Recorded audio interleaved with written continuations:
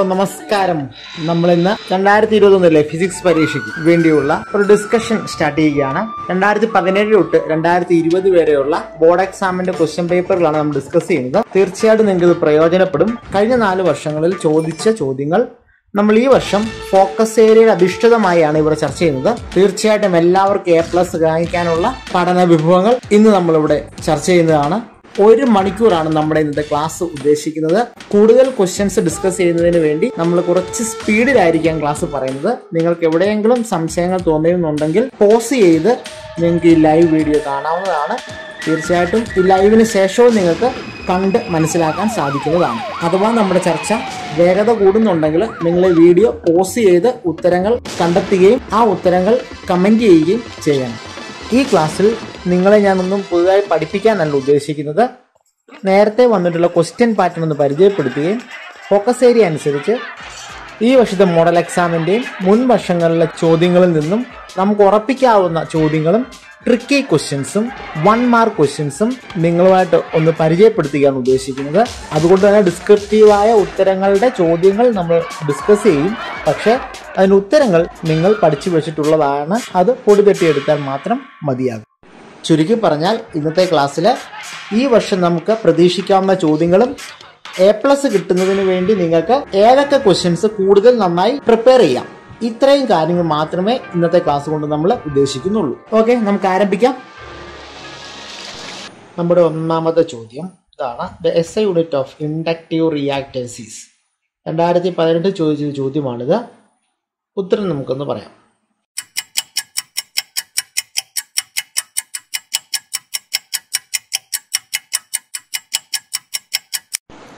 എപ്പോഴും നമ്മൾ തെറ്റിക്കുന്ന ഉത്തരമാണ് ഇൻഡക്റ്റീവ് റിയാക്റ്റൻസിന്റെ യൂണിറ്റ് ഓം ആണ്. പക്ഷേ ഇൻഡക്റ്റൻസിന്റെ യൂണിറ്റ് ഹെൻറി ആണ്. അപ്പോൾ നമ്മുടെ ഈ ക്വസ്റ്റ്യന്റെ ആൻസർ ഇൻഡക്റ്റീവ് റിയാക്റ്റൻസിന്റെ എസ് യൂണിറ്റ് ആണ്. അത് നമുക്ക് എഴുതാം. ഓം എന്ന് എഴുതാം. ഓക്കെ അടുത്ത ചോദ്യത്തിലേക്ക് കിടക്കാം. രണ്ടായിരത്തി പതിനെട്ട് തന്നെ ചോദിച്ച മറ്റൊരു ചോദ്യമായിരുന്നു ഇത്. You are given two capacitors having capacitances C one and C two derive an expression for the equivalent capacitance in series and parallel combination വളരെ സിമ്പിളായ ചോദ്യമായിരുന്നു. അപ്പോൾ നമുക്ക് ഈ വർഷവും ഈ ക്വസ്റ്റ്യൻസ് ഒക്കെ നമുക്ക് പ്രതീക്ഷിക്കാം. ആൻസർ ഡിസ്ക്രിപ്റ്റീവ് ആയതിനാൽ നമുക്കൊന്ന് നോക്കാം. കപ്പാസിറ്റൻസ് സീരീസ് വെച്ചാൽ capacitance one by C is equal to total capacitance one by C is equal to one by C one plus one by C two ആണെന്നറിയാം. Parallel വെച്ചാൽ total capacitance C is equal C one plus C two ആണ്. Resistors ആണ് വെച്ചതെങ്കിൽ ഇതിന് നേരെ opposite ആണെന്നും അതായത് resistors series വെച്ചാൽ R equals R one plus R two ആണ്. റെസിസ്റ്റേഴ്സ് പാരൽ വെച്ചാൽ one by R equals one by R one plus one by R two ആണ്. അപ്പോൾ ഇതെന്തായാലും ഡിസ്ക്രിപ്റ്റീവ് ആണ്. നന്നായിട്ട് പഠിച്ചുകൊള്ളുക ഇതുവരെയും ഫിസിക്സ് ഒന്നും പഠിക്കാത്തവരുണ്ടെങ്കിൽ ഈ ക്വസ്റ്റ്യൻ തീർച്ചയായിട്ടും നോക്കിയേക്കുക. കപ്പാസിറ്റേഴ്സ് ഇൻ സീരീസ് ആൻഡ് പാരലും റെസിസ്റ്റേഴ്സ് ഇൻ സീരീസ് ആൻഡ് പാരലും രണ്ടായിരത്തി പതിനെട്ടിൽ തന്നെ ചോദിച്ചൊരു ചോദ്യമാണ്. The electric field lines of a positive charge is as shown in figure അപ്പം കാണുന്നുണ്ട്. ഒരു ഇലക്ട്രിക് ഫീൽഡ് ഒരു പോസിറ്റീവ് ചാർജിന്റെ ഇവിടെ കാണാം. Give the sign of potential difference V P minus V Q അപ്പോൾ അവിടെ പി എന്നും ക്യൂ എന്നും രണ്ട് പോയിന്റുകൾ കാണുന്നുണ്ട്. ആ പോയിന്റുകളിലെ പൊട്ടൻഷ്യലാണ് വി പിയും വി ക്യൂവും എങ്കിൽ പൊട്ടൻഷ്യൽ ഡിഫറൻസിന്റെ സൈൻ കണ്ടുപിടിക്കാനാണ്. തീർച്ചയായിട്ടും പൊട്ടൻഷ്യൽ ഡിഫറൻസ് എന്ന് വെച്ചാൽ V P minus V Q ആണ്. V P minus V Q എന്ന് പറയുന്നത് അപ്പോൾ higher potential minus lower potential ആണ്. അപ്പോൾ ഹയർ മൈനസ് ലോവർ പൊട്ടൻഷ്യൽ ആകുമ്പോൾ അതൊരു പോസിറ്റീവ് ഫീൽഡ് ആയിരിക്കും. അപ്പം പൊട്ടൻഷ്യൽ ഡിഫറൻസിന്റെ സൈൻ പോസിറ്റീവ് ആയിരിക്കും. അതിനോടൊപ്പം ഉള്ള മറ്റൊരു ചോദ്യമായിരുന്നു. Give the sign of work done by the field in moving a small positive charge from Q to P അപ്പോൾ ക്യൂവിൽ നിന്ന് പിയിലേക്ക് ഒരു ചാർജിനെ മൂവ് ചെയ്യിക്കണമെങ്കിൽ എത്രത്തോളം വർക്ക് ചെയ്യണം? അല്ലെങ്കിൽ ആ വർക്ക് ചെയ്യേണ്ട സൈൻ എന്താണ്? ക്യൂ എന്ന് പറയുന്നത് നമ്മുടെ പോസിറ്റീവ് ചാർജിൽ നിന്ന് അകലെയാണ്. അപ്പോൾ അകലെ ആയിരിക്കുമ്പോൾ അവിടുത്തെ ഇലക്ട്രിക് പൊട്ടൻഷ്യൽ കുറവായിരിക്കും. കാരണം electric potential V is equal one by four pi epsilon zero Q by R ആണ്. പി എന്ന് പറയുന്നത് ചാർജിന് അടുത്തുള്ള ഒരു പോയിന്റാണ് അവിടുത്തെ പൊട്ടൻഷ്യൽ കൂടുതലായിരിക്കും. അപ്പോൾ ക്യൂവിൽ നിന്ന് പിയിലേക്ക് ഒരു ചാർജിനെ മൂവ് ചെയ്യിക്കണമെങ്കിൽ ലോവർ പൊട്ടൻഷ്യലിൽ നിന്ന് ഹയർ പൊട്ടൻഷ്യലിലേക്കാണ് മൂവ് ചെയ്യിക്കുന്നത്. അപ്പോൾ അവിടുത്തെ വർക്ക് സൈന് നെഗറ്റീവ് ആയിരിക്കും. അതിനോട് കൂടുതൽ മറ്റൊരു ചോദ്യമാണ് what is the shape of equipotential surface near the charge ഒരു ചാർജിന് ചുറ്റുമുള്ള ഇക്വി പൊട്ടൻഷ്യൽ സർഫസ് എന്നാണ് പറഞ്ഞിരിക്കുന്നത്. അപ്പോൾ അതിന്റെ ഷേപ്പ് ചാർജ് പോയിന്റഡ് ആയതുകൊണ്ട് സ്പിരിക്കൽ ഷേപ്പ് ആയിരിക്കും ഇക്വി പൊട്ടൻഷ്യൽ സർഫസിനുള്ളത് അപ്പോൾ ഈ കാര്യങ്ങളൊക്കെ ഓർത്തിരിക്കാം. ഈ ചോദ്യങ്ങൾ നമുക്ക് ഈ പരീക്ഷയ്ക്കും വരാവുന്നതാണ്. അല്ലെങ്കിൽ ഇതുമായിട്ട് ബന്ധപ്പെട്ട ചോദ്യങ്ങളും വരാവുന്നതാണ്. രണ്ടായിരത്തി പതിനെട്ടിൽ തന്നെ ചോദിച്ച മറ്റൊരു ചോദ്യമാണ് name the part of electromagnetic spectrum used in radar systems മറ്റൊന്ന് produced in bombarding a metal target by a high speed electron അതുമായിട്ട് ബന്ധപ്പെട്ട് ചോദിച്ച മറ്റൊരു ചോദ്യം ഇങ്ങനെയായിരുന്നു electromagnetic waves are produced by options ഉണ്ട്. Charge rest charges in uniform motion charges in accelerated motion അപ്പോൾ നിങ്ങൾക്ക് ഈ രണ്ട് ചോദ്യങ്ങൾക്കും ഇപ്പോൾ ലൈവായിട്ട് ഉത്തരങ്ങൾ തരാം. ടൈം സ്റ്റാർട്ട്സ് നൗ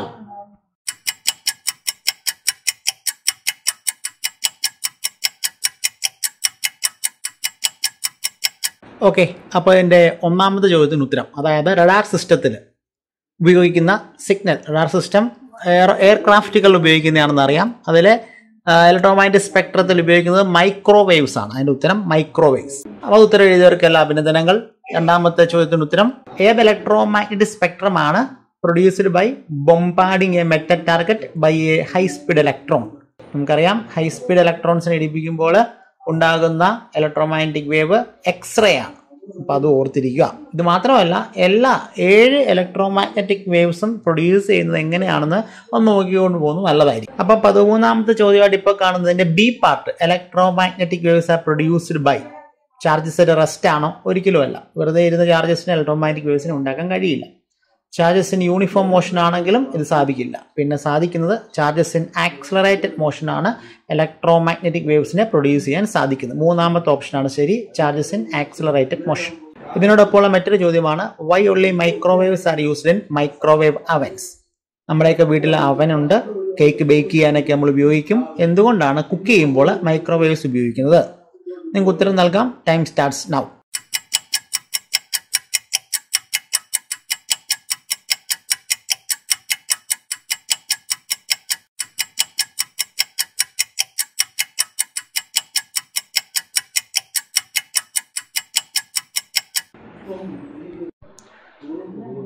ഉത്തരം ഇതാണ് the frequency of microwaves matches with the natural frequency of water അതായത് മൈക്രോവേവ്സിന്റെ വൈബ്രേഷനും വാട്ടർ മോളിക്യൂൾസിന്റെ വൈബ്രേഷൻസിന്റെയും ഫ്രീക്വൻസി ഒരുപോലെയാണ്. അതായത് റെസണൻസ് ഒക്കൂർ ചെയ്യുന്നുണ്ട്. അപ്പോൾ റെസണൻസ് ഒക്കൂർ ചെയ്യുമ്പോൾ വൈബ്രേഷൻസ് മാക്സിമം ആവും. അതുകൊണ്ട് തന്നെ കുക്ക് ചെയ്യുമ്പോൾ കുക്ക് ചെയ്യുന്ന പദാർത്ഥങ്ങളുടെ മോളിക്യൂൾസിന് മാക്സിമം വൈബ്രേഷൻ ഉണ്ടാവുകയും അത് കഴിക്കുന്നതിന് പാകപ്പെടുകയും ചെയ്യും. ഇതുകൊണ്ടാണ് മൈക്രോവേവ് അവൻസിൽ മൈക്രോവേവ്സ് ഉപയോഗിക്കുന്നത്. Nu equals C by lambda അല്ലെങ്കിൽ സി ഈക്വൽസ് ന്യൂ ലാംഡ എന്ന എക്സ്പ്രഷൻ എഴുതിയാൽ നമുക്ക് ഇതിന് മാർക്ക് കിട്ടും. ഓക്കെ. നമ്മുടെ അടുത്ത ചോദ്യം കറണ്ട് നമ്മുടെ അടുത്ത ചോദ്യം കറണ്ട് ഇലക്ട്രിസിറ്റി എന്ന ചാപ്റ്ററിൽ നിന്നാണ്. അതിൽ നമുക്ക് പൊട്ടൻഷ്യോമീറ്റർ ഈ വർഷത്തെ ഫോക്കസ് ഏരിയയിൽ പഠിക്കാനുണ്ട്. പൊട്ടൻഷ്യോമീറ്ററിൽ ക്വസ്റ്റ്യൻ ഇതാണ്. The circuit diagram of a potentiometer for determining the E M of E of a cell is given കണ്ടുപിടിക്കേണ്ടത് state the principle of working of a potentiometer അടുത്തത് how the balance length A J changes when the value of R one decreases മൂന്നാമത്തെ ചോദ്യം derive an expression to find out internal resistance of a cell അപ്പം അഞ്ച് മാർക്കിന്റെ ചോദ്യമാണ്. ഇങ്ങ- ഇങ്ങനത്തെ ഒരു ചോദ്യങ്ങൾ നമുക്ക് ഈ വർഷവും പ്രതീക്ഷിക്കാം. ഡിസ്ക്രിപ്റ്റീവ് ആയതിനാൽ ഇതെങ്ങനെ ഉത്തരം എഴുതണമെന്ന് നമുക്ക് നോക്കാം. ഒന്നാമത്തെ ചോദ്യത്തിന് ഉത്തരം. അതായത് principle of working of potentiometer എല്ലാവരും എപ്പോഴും ഓർത്തിരിക്കുക E M F is proportional to balance length ഒരിക്കലും നമുക്കിത് മീറ്റർ ബ്രിഡ്ജിന്റെ പ്രിൻസിപ്പിളുമായി തെറ്റരുത്. മീറ്റർ ബ്രിഡ്ജിന്റെ പ്രിൻസിപ്പിൾ വീറ്റ് സ്റ്റോൺസ് പ്രിൻസിപ്പിൾ ആണ്. P by Q is equal R by S ഒരു പൊട്ടൻഷ്യൽ മീറ്ററിന്റെ പ്രിൻസിപ്പിൾ ബാലൻസ് ലെങ്ത് ആർക്ക് പ്രപ്പോർഷണൽ ആയിരിക്കും? ഇ എം എഫിന് പ്രപ്പോർഷണൽ ആയിരിക്കും. ഓർത്തിരിക്കാം. ഈ വർഷവും നമുക്ക് സാധ്യതയുള്ള ഒരു ചോദ്യമാണ്. How the balance length A J changes value of R one decreases നമുക്ക് അതും കൂടെ നോക്കാം. എപ്പോഴും ഓർത്തിരിക്കുക ഒരു പൊട്ടൻഷ്യോമീറ്ററിന്റെ ചിത്രത്തിൽ കാണിച്ചിരിക്കുന്നത് പോലെയുള്ള റെസിസ്റ്റൻസിന്റെ വാല്യൂ ഡിക്രീസ് ചെയ്യുകയാണെങ്കിൽ ബാലൻസിങ് ലെങ്ത് എ ജെ എന്ന പാർട്ട് ഡിക്രീസ് ചെയ്യും. അല്ലെങ്കിൽ ബാലൻസ് ലെങ്ത് ഡിക്രീസ് ചെയ്യും. ഇനി ഈ കാണിച്ച റെസിസ്റ്റൻസ് ഇൻക്രീസ് ചെയ്താലോ? ബാലൻസിൻ ലെങ്തും ഇൻക്രീസ് ചെയ്യും. ഓർത്തിരിക്കും. ഇനി എന്താണ് ഇതിന്റെ കാരണം? ഒന്നുകൂടെ നോക്കാം. ഒരു പൊട്ടൻഷ്യോമീറ്ററിന്റെ സർക്യൂട്ടിലുള്ള റെസിസ്റ്റൻസ് കുറച്ചാൽ തീർച്ചയായിട്ടും കറണ്ട് കൂടും. കറണ്ട് കൂടുമെങ്കിൽ വോൾട്ടേജും കൂടും. ഓംസ്ലോ അറിയാമായിരിക്കുമല്ലോ. ഒരു പൊട്ടൻഷ്യോമീറ്ററിൽ പ്രധാനമായിട്ടുള്ള ഒരു ടേമാണ്. പൊട്ടൻഷ്യൽ ഗ്രേഡിയന്റ് നിങ്ങൾക്കറിയാം electric intensity is negative gradient of potential equals minus of D B by D X പഠിച്ചിട്ടുണ്ട് അതിൽ വോൾട്ടേജ് ബൈ ഡിസ്റ്റൻസിനെ വിളിക്കുന്ന പേരാണ് potential gradient V by L എന്ന് വിളിക്കാം പൊട്ടൻഷ്യൽ ഗ്രേഡിയന്റ് കെ എന്ന് വിളിക്കാം. പക്ഷേ നമുക്ക് പ്രിൻസിപ്പിൾ അറിയാം ഈ പ്രപ്പോർഷണൽ ടു അല്ല അപ്പോൾ ഇ ഈക്വൽസ് കെ എല്ലാണ് ഒരു ഒരു പൊട്ടൻഷ്യോമീറ്ററിന്റെ കേസിൽ റെസിസ്റ്റൻസ് കുറച്ചാൽ പൊട്ടൻഷ്യൽ ഗ്രേഡിയന്റ് കൂടും. കാരണം അറിയാം റെസിസ്റ്റൻസ് കുറച്ചാൽ കറണ്ട് കൂടും കറണ്ട് കൂടിയാൽ വോൾട്ടേജ് കൂടും വോൾട്ടേജ് കൂടിയാൽ പൊട്ടൻഷ്യൽ ഗ്രേഡിയന്റും കൂടും. പക്ഷേ തന്നിരിക്കുന്ന ഇ എം എഫിന്റെ വാല്യൂവിന് മാറ്റമില്ലാത്തതിനാൽ നമുക്ക് ഇങ്ങനെ ചിന്തിക്കേണ്ടി വരും. പൊട്ടൻഷ്യൽ ഗ്രേഡിയന്റ് കൂടിയാലും ഗാൽനോമീറ്ററിന്റെ ബാലൻസിങ് കണ്ടീഷൻ സീറോ ആക്കുന്നതിന് വേണ്ടി നമുക്ക് ഈ പ്രപ്പോർഷൻ എല്ലിലെ ലെങ്തിനെ എന്ത് ചെയ്താലേ പറ്റൂ? ഇ എം എഫ് പഴയ പോലെ ആകാൻ കെ കൂടിക്കഴിഞ്ഞാൽ കെ കൂടുമ്പോൾ നമുക്ക് എന്നാ ചെയ്യണം? ലെങ്ത് കുറയ്ക്കണം. അപ്പോൾ ഇവിടെ ഈ കേസിൽ നമുക്ക് ലെങ്ത് മസ്റ്റ് ഡിക്രീസ് ഇതാണ് അതിന്റെ ഉത്തരം. ഇനി ഇങ്ങനെയൊന്നും പഠിച്ചു വെക്കാൻ പറ്റുന്നില്ല എങ്കിൽ ഇങ്ങനെ ചിന്തിക്കാം. റെസിസ്റ്റൻസ് കൂടുമ്പോൾ ബാലൻസ് ലെങ്ത് കൂടും. റെസിസ്റ്റൻസ് കുറയുമ്പോൾ ബാലൻസ് ലെങ്ത് കുറയും. ഇനി മൂന്നാമത്തെ ചോദ്യം നോക്കാം. Derive an expression to find out internal resistance of a cell ഇതൊരു വർക്ക്ഡൌട്ട് ക്വസ്റ്റ്യൻ ആണ്. അതായത് ഇന്ത്യൻ റെസിസ്റ്റൻസ് കണ്ടുപിടിക്കാനുള്ള എക്സ്പ്രഷൻ നമ്മൾ നേരത്തെ തന്നെ പഠിച്ചിട്ടുള്ളതാണ്.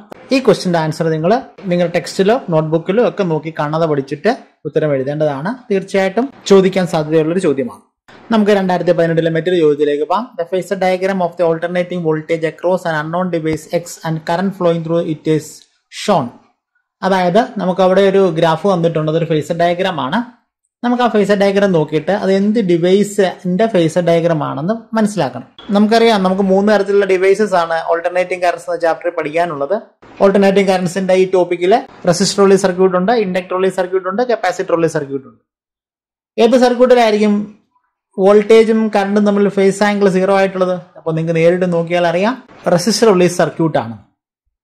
അപ്പോൾ ഇനിയും ഇതൊന്നും പഠിക്കാത്തവര് തീർച്ചയായിട്ടും ഫേസർ ഡയഗ്രങ്ങളെങ്കിലും കാണാതെ പഠിക്കുക റെസിസ്റ്റർ ഉള്ള സർക്യൂട്ടിൽ ഒരു ഇൻഡക്ടർ ഉള്ള സർക്യൂട്ടിൽ ഒരു കപ്പാസിറ്റർ ഉള്ള സർക്യൂട്ടിൽ ഫേസർ ഡയഗ്രാമുകൾ വന്നാൽ അത് ഏത് ഉപകരണങ്ങളുടെ അത് ഏത് ഡിവൈസുകളുടെ ഫേസർ ഡയഗ്രാംസ് ആണെന്ന് മനസ്സിലാക്കുന്നതിന് വേണ്ടി. ഇതിന്റെ രണ്ടാമത്തെ ചോദ്യം draw the graphical variation of current and voltage with omega T through this device graphical representation വരയ്ക്കുന്നതിന് വേണ്ടിയാണ് കറണ്ടും വോൾട്ടേജും തമ്മിലുള്ളത്. ഈ ചാപ്റ്ററൊക്കെ റിവൈസ് ചെയ്തിട്ടുള്ളവർക്ക് ഇതൊരു ബുദ്ധിമുട്ടുള്ള ചോദ്യമല്ല. റെസിസ്റ്റോളി സർക്യൂട്ടിന്റെ ഗ്രാഫിക്കൽ റെപ്രസെന്റേഷൻ ആണ് കറണ്ടും വോൾട്ടേജും തമ്മിലുള്ളത്. എല്ലാവരും ഈ ഉത്തരം ഒന്ന് മനസ്സിലാക്കി വെച്ചേക്കുക. മാത്രമല്ല ഇനി ഈ പോർഷൻ നോക്കാത്തവരുണ്ടെങ്കിൽ phasor ഡയഗ്രമും graphical representation of resistor only circuit inductor circuit and capacitor only circuit മാത്രം ഒന്ന് മനസ്സിലാക്കി വെച്ചേക്കുക. രണ്ടായിരത്തി പതിനാറിലെ ഇംപ്രൂവ്മെന്റ് എക്സാമിന്റെ ഒരു ചോദ്യമാണിത്. മൈസ് ദ ഫോളോയിങ് ആണ്. നിങ്ങൾ കാണാം. റേഡിയോ വേവ്സ് അൾട്രാവയലറ്റ് റൈസ് എന്നിവ എ ഭാഗത്തിൽ കൊടുത്തിട്ടുണ്ട്. അതുപോലെ തന്നെ ബി ഭാഗത്തിലും സി ഭാഗത്തിലും എ ഭാഗമായിട്ട് പൂരിപ്പിക്കേണ്ട കുറച്ച് ടേംസും കൊടുത്തിട്ടുണ്ട്.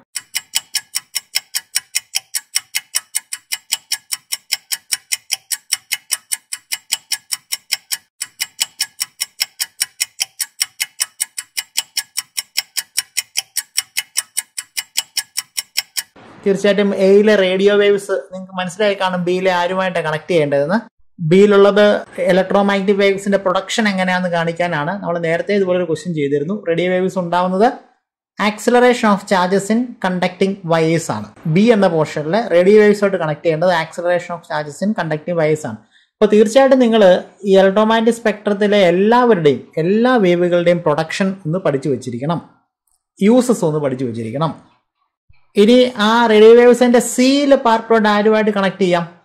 തീർച്ചയായിട്ടും റേഡിയോ വേവ്സ് കമ്മ്യൂണിക്കേഷന് വേണ്ടിയാണ് ഉപയോഗിക്കുന്നത്. അവിടെ സെല്ലുലാർ ഫോൺസ് കൊടുത്തിട്ടുണ്ട്. അപ്പോൾ സെല്ലുലാർ ഫോൺസിലോട്ട് കണക്ട് ചെയ്യേണ്ടത്. അപ്പോൾ radio waves acceleration of charges in conducting wires cellular phones രണ്ടാമത്തെ ക്വസ്റ്റ്യൻ അൾട്രാവയലറ്റ് റേസ് ആണ്. അതിന്റെ പ്രൊഡക്ഷൻ എങ്ങനെയാണെന്ന് നമുക്ക് നോക്കാം.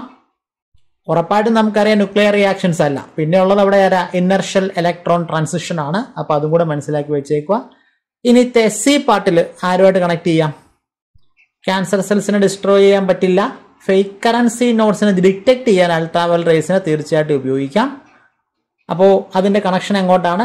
ഡിറ്റക്ടിങ് ഫേക്ക് കറൻസി നോട്ട്സ് കണ്ടിട്ടില്ലേ? ബാങ്കിലൊക്കെ നോട്ടുകൾ ഒരു മെഷീനുള്ളിലോട്ട് കടത്തി കള്ളനോട്ടാണോ നോക്കുന്ന ഒരു പ്രോസസ് രണ്ടായിരത്തി പതിനാറിൽ തന്നെ ചോദിച്ച ഇംപ്രൂവ്മെന്റ് എക്സാമിന് ചോദിച്ച മറ്റൊരു ചോദ്യമാണ് വെക്ടർ ഫോം ഓഫ് എല്ലോ can be written as J equal sigma E എങ്കിൽ താഴെ തന്നിരിക്കുന്ന ഓപ്ഷനുകളിൽ ഏത് ലോയുമായിട്ടാണ് ഈ പറഞ്ഞ J equal sigma E relate ചെയ്തിരിക്കുന്ന ചോദ്യം.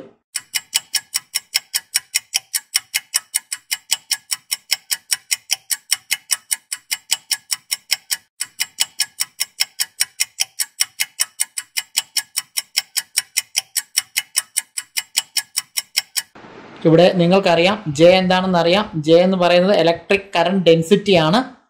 സിഗ്മ എന്താണെന്നറിയാം? കണ്ടക്ടിവിറ്റി ആണ് ഓഫ് എ മെറ്റീരിയൽ ഇ എന്താണെന്നറിയാം? അപ്ലൈഡ് ഇലക്ട്രിക് ഫീൽഡ് ആണ്. അപ്പോൾ കണ്ടക്ടിവിറ്റി ഓഫ് എ മെറ്റീരിയലും അപ്ലൈഡ് ഇലക്ട്രിക് ഫീൽഡും ഒക്കെ ബന്ധപ്പെട്ടിരിക്കുന്ന കറണ്ടുമായിട്ട് ബന്ധപ്പെട്ട ഒരു ലോ ആണ്. അതായതാണ് ഓംസ് ലോ ആണ്. Ohm's law relates the current density in a conductor to the applied electric field ഇവിടുത്തെ ആൻസർ ഓംസ് ലോ ആണ്. രണ്ടായിരത്തി പതിനാറ് ഇംപ്രൂവ്മെന്റിലെ മറ്റൊരു ചോദ്യമാണ് ഇപ്പോൾ നിങ്ങൾ കാണുന്നത്. ചോദ്യം ഇതാണ്. Gauss theorem is useful in determining the electric field when the source distribution has symmetry അപ്പോൾ വളരെ സിമ്പിൾ ആയിട്ട് ചോദ്യമാണ്. ഒന്നാമത്തെ ചോദ്യം the electric field intensity distance R from a uniformly charge infinity plane sheet of charges option ഉണ്ട്. നിങ്ങൾക്ക് answer ചെയ്യാം. Comment ചെയ്യുക.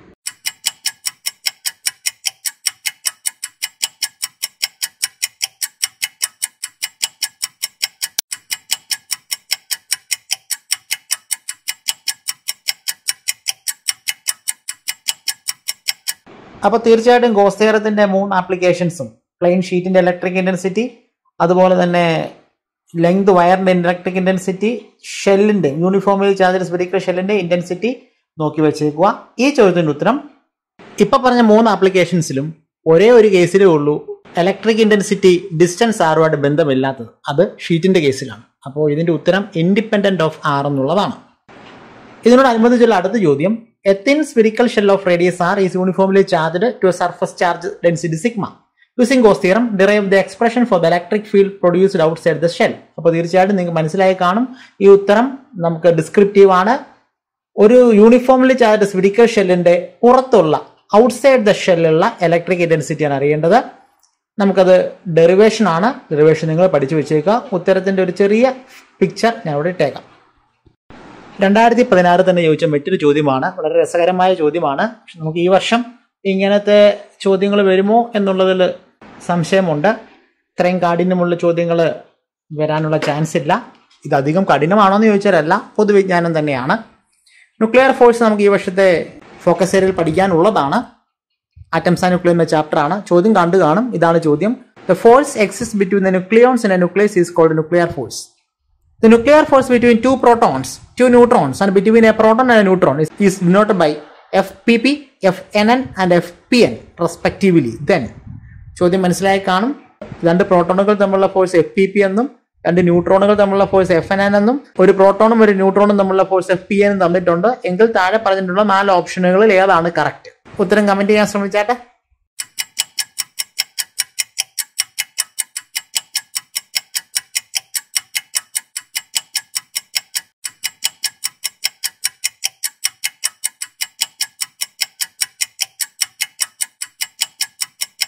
ഉത്തരം വളരെ സിമ്പിൾ ആണ്. Nuclear forces is charge independent നമ്മൾ ആ ചാപ്റ്ററിൽ പഠിക്കുന്ന ഒരു പ്രധാനപ്പെട്ട ന്യൂക്ലിയർ ഫോഴ്സിന്റെ പ്രോപ്പർട്ടിയാണ് nuclear forces is charge independent അപ്പോൾ രണ്ട് പ്രോട്ടോണുകൾ തമ്മിലുള്ള ഫോഴ്സിനോ രണ്ട് ന്യൂട്രോണുകൾ തമ്മിലുള്ള ഫോഴ്സിനോ രണ്ട് പ്രോട്ടോണും ന്യൂട്രോണും തമ്മിലുള്ള ഫോഴ്സിനോ ചാർജുമായിട്ട് യാതൊരു ബന്ധവുമില്ല എന്ന് പറഞ്ഞാൽ അവരുടെ എല്ലാം ഫോഴ്സുകൾ എപ്പോഴും എന്തായിരിക്കും?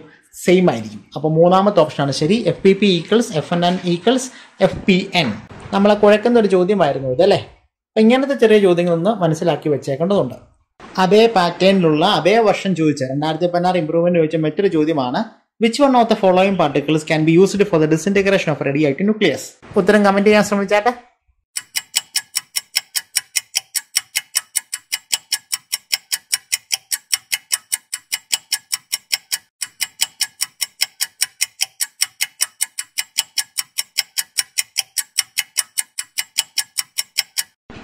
അതെ മിക്കവാറും എല്ലാവർക്കും ശരിയായ ഉത്തരമാണ് കിട്ടിയത്. ന്യൂട്രോൺ ആണ് നമ്മൾ റേഡിയോ ആക്റ്റീവ് സബ്സ്റ്റൻസിനെ ബൊമ്പാർഡ് ചെയ്യാൻ വേണ്ടി ഉപയോഗിക്കുന്നത്. അതോടൊപ്പം തന്നെ മറ്റൊരു കാര്യം കൂടെ കാണാം. നമുക്ക് ഫോക്കസ് ഏരിയ ഈ ഉള്ളതാണ്. You are given two capacitors having capacitance C one and C two there an expression for equivalent capacitance in series and parallel combination നമ്മൾ നേരത്തെ ഇന്നത്തെ ലൈവിൽ നമ്മൾ ചെയ്തിട്ടുള്ളതാണ്. അതുകൊണ്ട് ഈ തുടക്കത്തിൽ നമ്മുടെ ഇന്നത്തെ ലൈവിന്റെ തുടക്കത്തിൽ ഇതിന്റെ ഉത്തരം നമ്മൾ പറഞ്ഞിട്ടുള്ളതാണ്. അപ്പോൾ നമുക്ക് ഇത് ഒന്ന് രണ്ട് പ്രാവശ്യം മാത്രമല്ല ഇനി വരാനുള്ള പല ക്വസ്റ്റ്യൻ പേപ്പറും റിപ്പീറ്റ് ക്വസ്റ്റ്യൻ ആണ്. അതുകൊണ്ട് കപ്പാസിറ്റേഴ്സ് ഇൻ സീരീസ് ആൻഡ് പാരലും റെസിസ്റ്റേഴ്സ് ഇൻ സീരീസ് ആൻഡ് പാരലും നിർബന്ധമായിട്ട് നോക്കിയിട്ട് പോവുക. രണ്ടായിരത്തി പതിനാറിൽ ചോദിച്ച മറ്റൊരു ചോദ്യമാണ് the variation of charge Q on a capacitor with voltage V is shown in the figure graph തന്നിട്ടുണ്ട്. അത് ചാർജും വോൾട്ടേജും തമ്മിലുള്ള ഗ്രാഫാണ്. The area of the triangle O A B represents തീർച്ചയായിട്ടും ഏരിയ കണ്ടുപിടിക്കണമെങ്കിൽ ട്രയാങ്കിളിന്റെ ഏരിയ ആണല്ലോ വേണ്ടത്. ട്രയാങ്കിളിന്റെ ഏരിയ ഹാഫ് ബി എച്ച് ആണ്. ബ്രെത്ത് ഇവിടെ തന്നിരിക്കുന്നത് എന്താണെന്നറിയാം? വോൾട്ടേജ് ആണ്. ഹൈറ്റ് എന്താണ്? ചാർജ് ആണ്. Voltage into charge V into Q ഇവിടെ നമുക്ക് അതിന്റെ ഉത്തരം കാണാം. ട്രയാങ്കിളിന്റെ ഏരിയ എടുത്തിട്ടുണ്ട് ഇവിടെ. ഹാഫ് ബി എച്ച് ആണ്. തൊട്ട് താഴെ നമുക്ക് ഹാഫ് ക്യൂ ഇന്റു വി എന്ന് കാണാം. പക്ഷേ ക്യൂ എന്താണെന്നറിയാം? സി ബി ആണ്. അതുകൊണ്ട് തന്നെ ക്യൂവിന് സബ്സ്റ്റിറ്റ്യൂട്ട് ചെയ്തു. അപ്പോൾ നമുക്ക് കിട്ടിയ answer half C B square ആണ്. ഹാഫ് സി ബി സ്ക്വയർ എന്താണെന്ന് നമുക്കറിയാം. എനർജി സ്റ്റോറിന്റെ കപ്പാസിറ്റർ ആണ്. അപ്പോൾ നാലാമത്തെ ഓപ്ഷനാണ് ഉത്തരം. എനർജി സ്റ്റോറിന്റെ കപ്പാസിറ്റർ അടുത്ത ചോദ്യം കാണാം. Four equal resistance each of six ohms are arrange as shown in the figure ഇപ്പൊ റെസിസ്റ്റേഴ്സും സീരീസും പാരലും നമുക്ക് പഠിക്കേണ്ടതാണ്. ഇതും രണ്ടായിരത്തി പതിനാറ് ചോദിച്ചൊരു ചോദ്യമാണ്. വളരെ സിമ്പിൾ ആണ് എന്റെ ഉത്തരം. അതിന്റെ ഉത്തരം ഒന്ന് നോക്കാം. വളരെ സിമ്പിൾ ആയിട്ടുള്ള ഒരു ചോദ്യമാണ്. ഇതുപോലെയുള്ള സിമ്പിൾ ആയിട്ടുള്ള എന്തെങ്കിലും പ്രോബ്ലംസേ കപ്പാസിറ്റേഴ്സിനോ റെസിസ്റ്റേഴ്സിനോ കോമ്പിനേഷനും പാരലോ ഈ വർഷം വരാനുള്ള സാധ്യതയുള്ളൂ. ഇവിടെ തന്നെ നമുക്ക് കാണാം. മൂന്ന് പാരലുള്ള ആ ഓമിലുള്ള റെസിസ്റ്റൻസ് ഉണ്ട്. ആ മൂന്നെണ്ണവും പാരൽ ആയതുകൊണ്ട് ഇവിടെ എഴുതിയിട്ടുണ്ട്. For parallel one by R is equal to അല്ലെ റെസിപ്രോക്കളുടെ സമ്മായിരിക്കും ടോട്ടൽ റെസിസ്റ്റൻസിന്റെ സമ്മ് അപ്പൊ നമുക്ക് അതിങ്ങനെ കിട്ടും? One by R equals three by six എന്ന് കിട്ടും. One by six plus one by six plus one by six അപ്പൊ R equal six by three ആണ് ടു ഓമോ ഇപ്പോൾ ആ മൂന്ന് പാരലുള്ള റെസിസ്റ്റൻസും കൂടെ ചേർന്ന് ടു ഓമുള്ള ഒറ്റ റെസിസ്റ്റൻസ് ആയിട്ട് മാറി. ഇനി നേരത്തെ ഉള്ള സിക്സ് ഓമും കൂടെ കൂട്ടിയാൽ സീരീസ് ആയി. സീരീസ് ആകുമ്പോൾ എന്നാ പറ്റും? R ohm plus R two ആണ്. ആഡ് ചെയ്യണം. Six plus two eight ohm കിട്ടും. വളരെ സിമ്പിൾ ചോദ്യമാണിത്. ഇത് അപ്പൊ ഇതുപോലെയുള്ള ചോദ്യങ്ങൾ ശ്രദ്ധിക്കുക. അല്ലെങ്കിൽ ഇങ്ങനെയുള്ള പാറ്റേൺ ഉള്ള ചോദ്യങ്ങൾ ശ്രദ്ധിക്കുക. സീരീസിലും പാറുള്ള ഇക്വേഷൻസ് എങ്കിലും എഴുതി വെച്ചിരിക്കുക ആൻസർ പേപ്പറിൽ ഓക്കെ അടുത്ത ചോദ്യം നോക്കാം. അപ്പൊ ഈ ചോദ്യം നിങ്ങൾ കണ്ടു കാണും. ഒരു ടേബിൾ ആണ്. വോൾട്ടേജിന്റെയും കറന്റിന്റെയും ചോദ്യം ഇതാണ്. Draw V I graph with the help of the graph explain whether the device is showing ohmic non ohmic behaviour അപ്പം ഈ വോൾട്ടേജ് കറണ്ട് ഗ്രാഫ് വരച്ചിട്ട് ആ ഗ്രാഫിനനുസരിച്ച് തന്നിരിക്കുന്ന വസ്തു കാണിക്കുന്നത് ഓമിക് ബിഹേവിയർ ആണോ? അതായത് ഓംസ് ലോ അനുസരിക്കുന്നുണ്ടോ ഇല്ലയോ എന്നാണ് ചോദ്യം.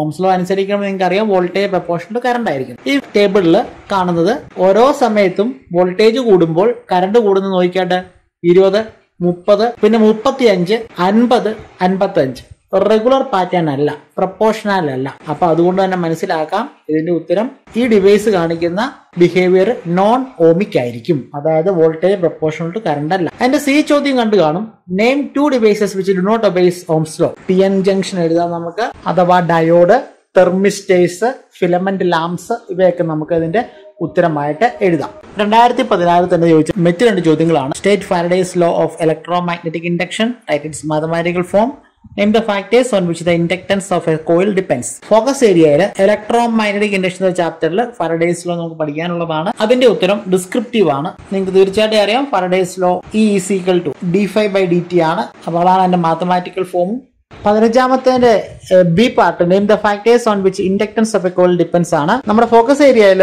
സെൽഫ് ഇൻഡക്ഷനും മ്യൂച്വൽ ഇൻഡക്ഷനും പ്രാധാന്യത്തോടെ പഠിക്കാൻ നിർദ്ദേശമില്ല. എങ്കിലും ഇൻഡക്ടൻസ് നോക്കിയിട്ട് പോകുന്ന ഒന്നായിരിക്കും ഇൻഡക്ടൻസ് ഡിപ്പെൻഡ് ചെയ്യുന്ന factors L is equal to mu zero N square A L ആണ്. അതിൽ എൻ നമ്പർ ഓഫ് ടൈംസ് ആണ്. A area of cross section ആണ്. L length of the solenoid ആണ്. അപ്പൊ അതും കൂടെ ഒന്ന് ശ്രദ്ധിച്ചു. രണ്ടായിരത്തി പതിനാറിൽ ചോദിച്ച മറ്റൊരു ചോദ്യമാണ്. അവർ represent resistance of a three thousand seven hundred ohm plus or minus five percentage using colour code എന്തായാലും ഈ ഭാഗം കളർ കോഡ് ഉപയോഗിച്ച് റെസിസ്റ്റേഴ്സിന്റെ വാല്യൂസ് കണ്ടുപിടിക്കുന്നത് ഫോക്കസ് ഏരിയയിൽ നമുക്ക് പഠിക്കാനില്ല. അഥവാ നിങ്ങൾ ഈ ടോപ്പിക്ക് പഠിച്ചിട്ടുണ്ടെങ്കിൽ ജസ്റ്റ് ഈ ആൻസർ ഒന്ന് ചെയ്യാൻ ശ്രമിക്കുക. ഇല്ല എങ്കിൽ ഇത് സ്കിപ്പ് ചെയ്തേക്കുക. നമുക്ക് ഫോക്കസ് ഏരിയയിലുള്ള ടോപ്പിക് അല്ല. അപ്പോൾ ഈ കാണിച്ചിരിക്കുന്നത് കളർ കോഡിന്റെ ടേബിൾ ആണ്. നേരത്തെ പഠിച്ചിട്ടുള്ളവർ ടേബിളിൽ ഒന്ന് ഹൃദയമാക്കി വെച്ചേക്കുക. ഇതിന്റെ ഉത്തരം ഇതാണ്. ഈ കളർ കോഡ് അനുസരിച്ച് മൂവായിരത്തി എഴുന്നൂറ് പ്ലസ് ഓർ മൈനസ് അഞ്ച് ശതമാനത്തിന്റെ കളർ കോഡ് അങ്ങനെയുള്ള റെസിസ്റ്ററിന്റെ colour code orange violet red gold. ആണ് അപ്പോൾ colour code of a resistance പഠിക്കാത്തവര് സ്കിപ്പ് ചെയ്തവര് ഇത് ഈ ക്വസ്റ്റ്യൻ സ്കിപ്പ് ചെയ്തേക്കുക രണ്ടായിരത്തി പതിനെട്ട് മാർച്ചിൽ ചോദിച്ച മറ്റൊരു ചോദ്യമാണ്. Two equal and opposite charges space in air as shown figure നിങ്ങൾക്ക് കാണാം രണ്ട് ഈക്വൽ ബട്ട് ഓപ്പോസിറ്റ് ചാർജസ് ആണ്. അതൊരു ഡൈപ്പോൾ ആണെന്ന് നിങ്ങൾക്ക് അറിയാം നമുക്ക് അറിയേണ്ടത് ആ ഫിഗർ ഒന്നും കൂടെ വരച്ച് redraw the figure and show the direction of dipole moment and direction of resultant electric field at P അപ്പൊ നമുക്ക് രണ്ട് കാര്യം ഇവിടെ- അറിഞ്ഞിരിക്കണം. ഇപ്പോൾ തന്നെ ഹൃദയസ്ഥമാക്കി വെച്ചേക്കുക. ഒരു ഡൈപോൾ മൊമെന്റിന്റെ ഡയറക്ഷൻ എപ്പോഴും നെഗറ്റീവിൽ നിന്ന് പോസിറ്റീവിലേക്കായിരിക്കും അതിന്റെ മാഗ്നിറ്റ്യൂഡ് നിങ്ങൾക്ക് അറിയാം. Dipole moment P is equal to one of the charge multiplied by distance between the two charges ആണ്. ഇനി ഇലക്ട്രിക് ഫീൽഡ് ഡയറക്ഷൻ അവിടുന്ന് അങ്ങോട്ടായിരിക്കും. തീർച്ചയായിട്ടും ഇലക്ട്രിക് ലൈൻസ് ഓഫ് ഫോഴ്സിന്റെ ഡയറക്ഷൻ അറിയാം. അത് അവിടുന്ന് പോസിറ്റീവിൽ നിന്ന് നെഗറ്റീവിലേക്കായിരിക്കും അപ്പോൾ ഇലക്ട്രിക് ഫീൽഡ് ഡയറക്ഷൻ എപ്പോഴും പോസിറ്റീവിൽ നിന്ന് നെഗറ്റീവിലേക്കായിരിക്കും ആൻസർ ഇവിടെ കൊടുത്തിട്ടുണ്ട്. ഡൈപ്പോ മൊമെന്റ് നെഗറ്റീവിൽ നിന്ന് പോസിറ്റീവിലേക്ക് ഇലക്ട്രിക് ഫീൽഡിൻ ഡയറക്ഷൻ പോസിറ്റീവിൽ നിന്ന് നെഗറ്റീവിലേക്ക് അതിനെ തുടർന്ന് മറ്റൊരു ചോദ്യം കൂടെ write an equation to find out the electric field at P തൽക്കാലം ഇലക്ട്രിക് പി എന്ന് പറയുന്ന ഇക്വറ്റോറിയൽ ഇലക്ട്രിക് ഫീൽഡ് ആണ്. നമുക്ക് തൽക്കാലം ഫോക്കസ് ഏരിയയിൽ ആ ചോദ്യം പരിഗണിക്കേണ്ടതില്ല. അടുത്തൊരു ചോദ്യം. ഇത് രണ്ടായിരത്തി പതിനെട്ട് മാർച്ചിലെയാണ് two spheres encloses charges as shown figure അപ്പോൾ ഒരു ചിത്രമുണ്ട്. ചിത്രത്തിൽ രണ്ട് സ്പിയറുകളുണ്ട് അതിലുള്ള ചാർജുകളുണ്ട് ഇന്നർ ഷെല്ലിൽ ക്യൂ എന്ന ചാർജും ഔട്ടർ ഷെല്ലിന്റെ ഉള്ളിൽ ടു ക്യൂ എന്ന ചാർജ് ക്വസ്റ്റൻ ഇതാണ് derive an expression for electric field intensity at any point on the surface S two രണ്ടാമത് ചോദ്യം what is ratio of electric flux to S one and S two ഒന്നാമത്തെ ചോദ്യത്തിന് ഉത്തരം two space enclosing charges are shown below നമുക്ക് അറിയേണ്ടത് expression for electric field at the surface ഉത്തരങ്ങൾ നിങ്ങൾക്ക് അവിടെ കാണാം. ഉത്തരങ്ങൾക്ക് എഴുതിയതനുസരിച്ച് നിങ്ങൾക്ക് മനസ്സിലാവുന്നുണ്ടായിരിക്കാം. Total charge inside the whole sphere എന്ന് പറയുന്നത് ക്യൂ പ്ലസ് ക്യൂ ക്യൂ ആ. ത്രീ ക്യൂ കിട്ടും. ബാക്കി നിങ്ങൾക്ക് സ്റ്റെപ്പ് ബൈ സ്റ്റെപ്പ് പ്രോസസ് ആണ്. ഇന്റഗ്രൽ ഇരോ ഡി എസ് സിക്ക് three Q by epsilon zero ആണ്. ഇപ്പോഴത്തെ ടോട്ടൽ ചാർജ് ത്രീ ക്യൂ ആയതുകൊണ്ടാണ്. ഈ into four pi R square integral D S എന്ന് പറയുന്നത് ടോട്ടൽ സർഫസ് ഏരിയ ആണ് ഓഫ് ദ സ്പിയർ അത് ഫോർ പൈ ആർ സ്ക്വയർ ആണ്. Three E into four pi square three Q by epsilon zero ആണ്. അപ്പോൾ electric intensity equals one by four pi epsilon zero three Q by R square ആണ്. ഇതിനെ തുടർന്നൊരു രണ്ടാമത്തെ ചോദ്യമാണ്. Electric ഫ്ലക്സുമായിട്ട് ബന്ധപ്പെട്ടതാണ് ഗോസ്തിയറോ ആണ്. ഒന്നാമത്തെ ഷെല്ലിലെയും രണ്ടാമത്തെ ഷെല്ലിലെയും ഇലക്ട്രിക് ഫ്ലക്സിന്റെ റേഷ്യോ എത്രയാണ്? ഒന്നാമത്തെ ഷെല്ല് എത്രയാണെന്ന് നമുക്കറിയാം. ഒരു സിംഗിൾ ചാർജ് ഉള്ളൂ ക്യൂ ബൈ എപ്സിലോൺ സീറോ ആണ്. രണ്ടാമത്തേതിൽ അടുത്ത ടോട്ടൽ ചാർജ് ത്രീ ക്യൂ ആണ്. ത്രീ ക്യൂ എങ്ങനെ ഒന്ന് ചോദിച്ചാൽ ഉള്ളിലുള്ള ക്യൂ പ്ലസ് പുറത്തെ ഷെല്ലിലുള്ള ടു ക്യൂ അങ്ങനെ ത്രീ ക്യൂ ആയി. One by epsilon zero three q ആണ് അവിടുത്തെ ഫ്ലെക്സ് ഇലക്ട്രിക് ഫ്ലെക്സ് അങ്ങനെയാണെങ്കിൽ ഇവരുടെ ഒരു ratio എടുക്കുന്നെങ്കിൽ five one by five two എഴുതാൽ മതി. അത് വൺ ബൈ ത്രീ എന്ന് കിട്ടും. അഥവാ വൺ ഈസ് ടു ത്രീ അഥവാ ത്രീ ഈസ് ടു വൺ ആണ് ഇവരുടെ റേഷ്യോ അടുത്ത ഒരു രസകരമായ ചോദ്യമാണ്. Calculate the electrical capacitance of earth the radius of earth six thousand four hundred kilometre ഇതും രണ്ടായിരത്തി പതിനെട്ട് മാർച്ച് ചോദിച്ച ഒരു ചോദ്യമാണ്. നമുക്ക് നോക്കാം ഇത് എങ്ങനെ ചെയ്യുന്നു. എർത്തിന്റെ കപ്പാസിറ്റൻസ് എന്ന് പറയുന്നത് എർത്തിന്റെ ഷേപ്പിനനുസരിച്ചാണ് എർത്തിന്റെ ഷേപ്പ് സ്പിരിക്കൽ ആയതിനാൽ കപ്പാസിറ്റൻസ് ഓഫ് എർത്ത് എന്ന് പറയുന്നത് ഫോർ പൈ എപ്സിലോൺ സീറോ ആറാണ് സ്പിരിക്കൽ കപ്പാസിറ്റന്റെ കപ്പാസിറ്റൻസിന് എക്സ്പ്രഷൻ ആണത്. ബാക്കി നമുക്ക് four pi epsilon zero into radius നമുക്ക് തന്നിട്ടുണ്ട് ആറായിരത്തി അറുന്നൂറ് കിലോമീറ്റർ ആറായിരത്തി അറുന്നൂറ് കിലോമീറ്റർ ആയിരുന്നു. അതിനെ മീറ്റർ ആക്കാൻ വേണ്ടി രണ്ട് മൾട്ടിപ്ലൈ ചെയ്ത്. നമുക്ക് കിട്ടിയ ആൻസർ എഴുന്നൂറ്റി പത്ത് പോയിന്റ് എട്ട്. മൈക്രോ ആണ് അപ്പോൾ എർത്തിന്റെ എർത്തിന്റെ കപ്പാസിറ്റൻസ് അത്രയാണ്. എഴുന്നൂറ്റി പത്ത് പോയിന്റ് എട്ട് മൈക്രോ ആണ് അടുത്ത് നമുക്ക് രണ്ടായിരത്തി പത്തൊമ്പത് മാർച്ചിലെ ഒരു ചോദ്യമാണ് circuit use to change alternating voltage direct voltage is called rectifier question കണ്ടപ്പോഴേ മനസ്സിലായി കാണാം. ഏത് ചാപ്റ്ററിൽ നിന്നുള്ളതാണ് സെമി കണ്ടക്ടേഴ്സിന്റെ ചാപ്റ്ററിൽ നിന്നുള്ളതാണ് അല്ലേ? നമുക്കറിയേണ്ടത് റെക്ടിഫയർ എന്താണെന്ന് പറഞ്ഞിട്ടുണ്ട്. എന്തിനു വേണ്ടിയുള്ളതാണ്? എ സിയെ ഡി സി ആക്കുന്നതിന് വേണ്ടിയാണ്. നമുക്ക് ക്വസ്റ്റിന് ഒന്നാമത് ഇതാണ്. With a neat diagram explain the working of a full wave rectifier having two diodes രണ്ട് ഡയോഡുകൾ ഉപയോഗിച്ച് ഫുൾ വേവ് റെക്ടിഫയർ ഉണ്ടാക്കുന്നത് നമുക്ക് ഫോക്കസ് ഏരിയയിൽ പഠിക്കാനുള്ളതാണ്. അപ്പോൾ അത് വൃത്തിയായിട്ട് പഠിച്ചിട്ട് തന്നെ പോവുക. രണ്ടായിരത്തി പത്തൊമ്പതിലെ ചോദ്യമാണ്. What is the output frequency of a full wave rectifier if the input frequency is fifty hertz അതൊരു പ്രോബ്ലമാണ് നമുക്ക് അതൊന്ന് ചെയ്തു നോക്കാം. നമുക്കറിയാവുന്ന കാര്യമാണ് ഒരു ഫുൾ വേവ് റെക്ടിഫയറിന്റെ ഔട്ട്പുട്ട് ടു ടൈംസ് ആ ഇൻപുട്ട് ആണ്. അപ്പോൾ നമുക്ക് output is equal to two times input frequency ആണ്. അപ്പോൾ നമുക്ക് അവിടെ ചെയ്യാൻ പറ്റും. ഇൻപുട്ട് ഫ്രീക്വൻസി ഫിഫ്റ്റി ഹെഡ്സ് ആണെങ്കിൽ output frequency equals two time ആണെങ്കിൽ ടു ഇന്റു ഫിഫ്റ്റി ഹൺഡ്രഡ് ആണ്. ഇനി നമുക്ക് അടുത്ത ചോദ്യം draw the output waveform across the load resistance connected in the full wave rectifier circuit ആണ്. ഫുൾ വേ റെക്ടിഫയർ രണ്ട് സൈക്കിളിനെ അതായത് പോസിറ്റീവ് നെഗറ്റീവ് സൈക്കിളുകളെ യൂണി ഡയറക്ഷനിലാക്കും ഡി സെയിം ഡയറക്ഷനിലേക്ക് ആക്കി മാറ്റും. അതുകൊണ്ട് അതിന്റെ ഒരു സ്ക്രീൻഷോട്ട് ഇവിടെ ഉണ്ട്. നിങ്ങൾക്ക് നോക്കാം മനസ്സിലാക്കാം. ഇവിടെ നിങ്ങൾക്ക് കാണാം ഇൻപുട്ട് സിഗ്നൽ കൊടുത്തിരിക്കുന്നതും ഔട്ട്പുട്ട് സിഗ്നൽ തന്നിരിക്കുന്നതും കാണാം. ഈ ഉത്തരം ഒന്ന് നോക്കി വെച്ചേക്കാം. നമ്മുടെ ഈ എക്സാമിന് തീർച്ചയായും ചോദിക്കാൻ സാധ്യതയുള്ള ഒരു ചോദ്യവും ഉത്തരവുമാണ്. രണ്ടായിരത്തി പത്തൊമ്പതിൽ ചോദിച്ച മറ്റൊരു ചോദ്യമാണ്.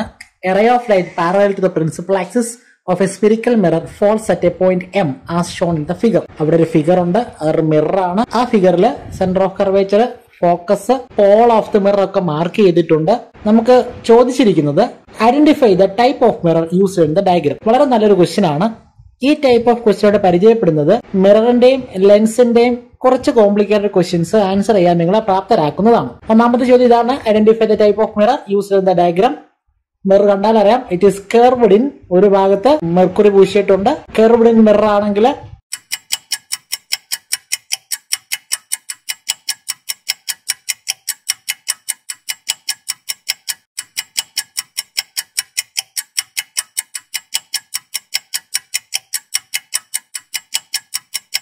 നിങ്ങൾക്കറിയാം അത് കോൺകേവ് മിറർ ആണ്. അപ്പൊ ആൻസർ കോൺകേവ് മിറർ ആണ്. രണ്ടാമത്തെ ചോദ്യം by drawing a suitable ray diagram obtain the mirror equation mirror equation നിങ്ങൾക്ക് ഫോക്കസ് ഏരിയയിൽ പഠിക്കാനുള്ളതാണ്. അപ്പോൾ തീർച്ചയായിട്ടും mirror equation one by V plus one by U equals one by F ആണ്. നിങ്ങൾക്ക് ഇപ്പോൾ ഇവിടെ കാണാം ഒരു ഫിഗർ ഈ ഫിഗർ ഹൃദയസ്ഥമാക്കി വെച്ചിരിക്കുക. ഡെറിവേഷൻ ചെയ്യാൻ പറ്റിയില്ലെങ്കിലും ഫിഗർ തീർച്ചയായിട്ടും വരച്ചിരിക്കുക. പ്രിൻസിപ്പൽ ആക്സിന് പാരലായിട്ട് പോകുന്ന ഒരു ലൈന് അത് ഫോക്കസിൽ കൂടെ കടന്നു പോകും. സെന്റർ ഓഫ് കർവേച്ചറിൽ കൂടെ പോകുന്ന ലൈന് റീട്രേസ് ചെയ്യും. അതേ പാത്തിൽ തന്നെ. രണ്ട് റേസും കൂട്ടിയിടിക്കുന്നത് നമുക്ക് ഇമേജ് കിട്ടും. മിറർ ഫോമിൽ ഓർത്ത് വെച്ചേക്കാം. One by v plus one by u equals one by f derivation നിർബന്ധമായിട്ടും പഠിച്ചിരിക്കുക. ഇതുവരെയും അത് പഠിക്കാൻ സാധിക്കാത്തവർക്ക് റിസൾട്ട് ആയ one by v plus one by u equals one by f എന്നത് ഹൃദയസ്ഥമാക്കി വെച്ചിരിക്കുക. മിറർ ഫോർമുലയാണ് ലെൻസ് ഫോർമുലയായിട്ട് തെറ്റിപ്പോകരുത്. അടുത്ത ചോദ്യം നിങ്ങൾക്ക് കാണാം. If the mirror is immersed in water its focal length വളരെ ട്രിക്കി ആയിട്ട് ഒരു ക്വസ്റ്റൻ ആണിത്. ഒരു മിറർ വെള്ളത്തിൽ മുക്കി വെച്ചാൽ അതിന്റെ ഫോക്കൽ ലെങ്തിന് എന്ത് സംഭവിക്കുന്നു ഉത്തരം നിങ്ങൾക്ക് കമന്റ് ചെയ്യാമോ?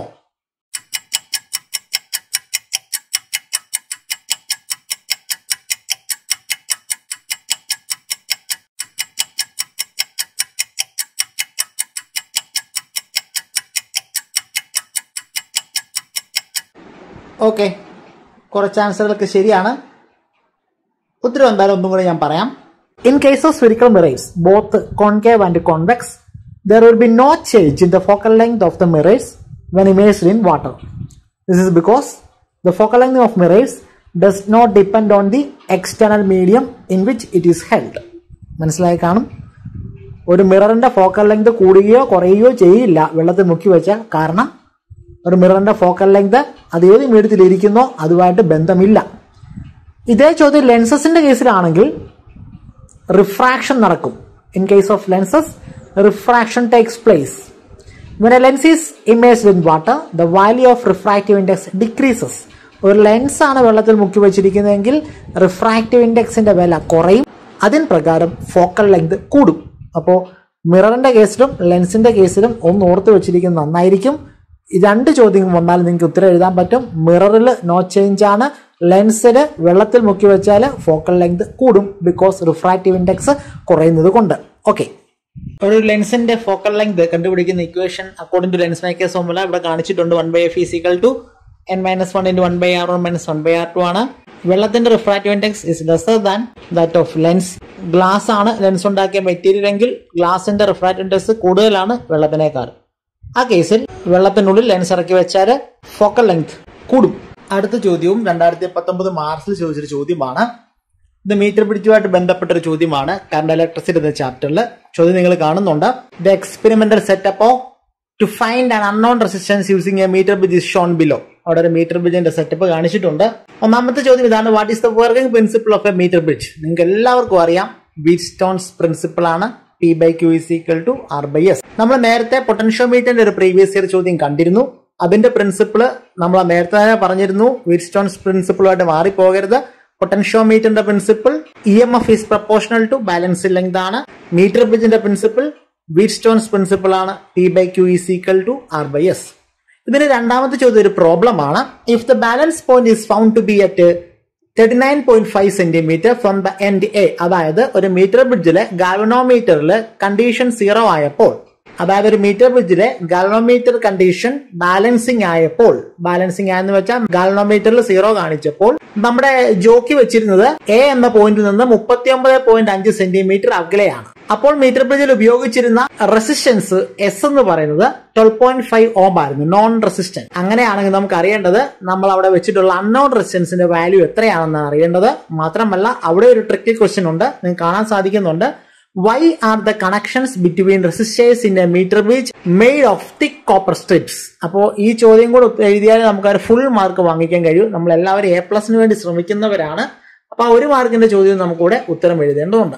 എന്തായാലും നമുക്ക് പ്രോബ്ലത്തിന്റെ ആൻസർ നോക്കാം. പ്രോബ്ലത്തിൽ ഇങ്ങനെയാണ് ഇത് ചെയ്യുന്നത്. നമ്മുടെ ജോക്കിയിലേക്കുള്ള ലെങ്ത് എ എന്ന പോയിന്റിൽ നിന്ന് thirty nine point five centimetre എന്ന ക്വസ്റ്റിന് തന്നെ പറഞ്ഞിട്ടുണ്ട്. നമുക്ക് ഉപയോഗിക്കേണ്ട ഇക്വേഷൻ നമ്മൾ കണ്ടുപിടിച്ച് നേരത്തെ തന്നെ വെച്ചിട്ടുണ്ട്. R into hundred minus L divide by L എന്നാണ്. ഇത് ഒരു മീറ്റർ ബ്രിഡ്ജിന്റെ അൺനോൺ റെസിസ്റ്റൻസ് കണ്ടുപിടിക്കുന്ന സ്റ്റാൻഡേർഡ് ഇക്വേഷൻ ആണ്. വീറ്റ് സ്റ്റോൺസ് പ്രിൻസിപ്പിളിന് റെഡ്യൂസ് ചെയ്യുന്നത്. നമുക്കിപ്പോൾ നോൺ റെസിസ്റ്റൻസ് അറിയാം. ട്വൽവ് പോയിന്റ് ഫൈവ് ഓം ആണ്. എല്ലിന്റെ വില നമുക്കറിയാം. Thirty nine point five centimetre away from A എന്നാണ് പറഞ്ഞിരുന്നത്. അപ്പൊ hundred minus L L thirty nine point five ആണ്.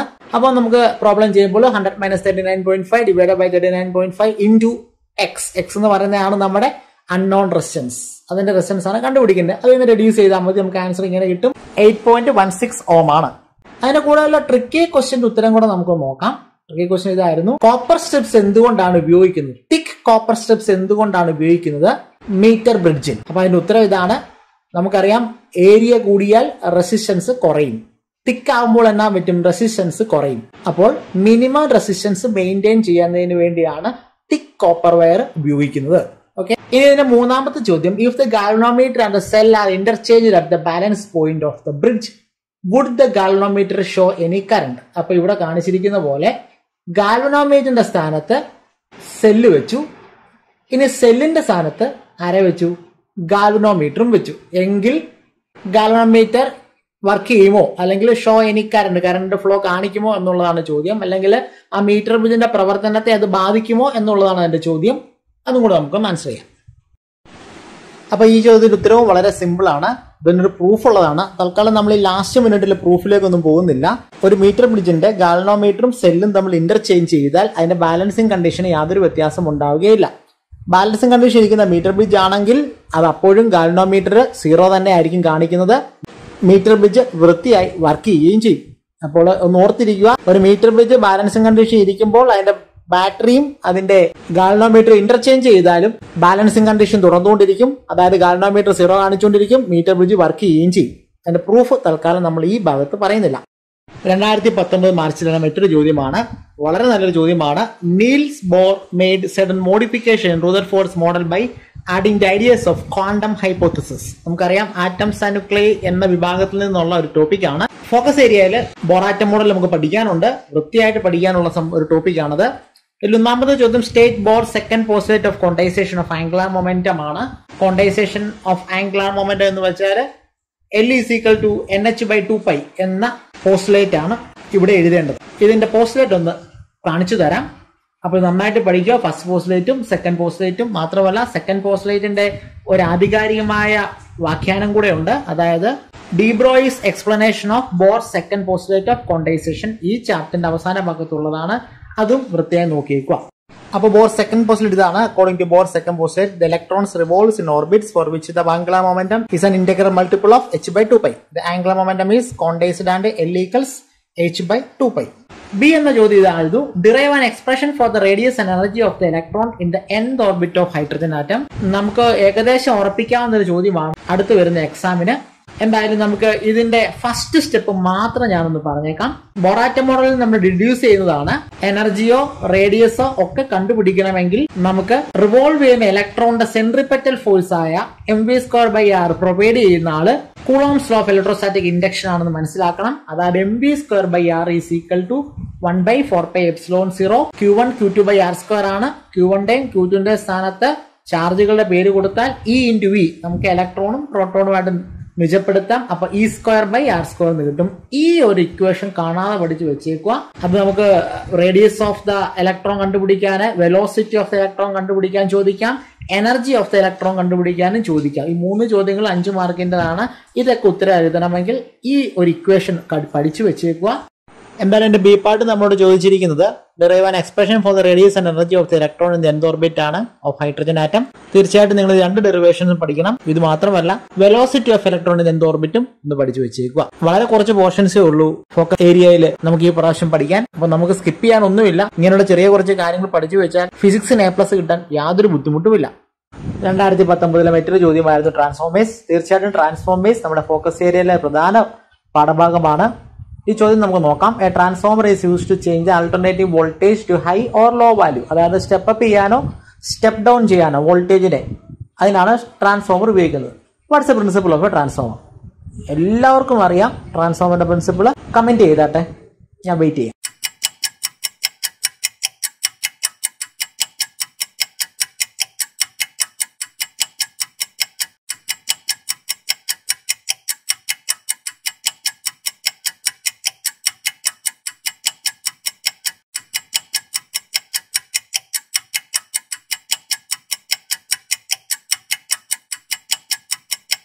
ഓക്കെ നിങ്ങൾ ഉത്തരം പറഞ്ഞത് ശരിയാണ്. ട്രാൻസ്ഫോമറിന്റെ പ്രിൻസിപ്പിൾ മ്യൂച്വൽ ഇൻഡക്ഷൻ തന്നെയാണ്.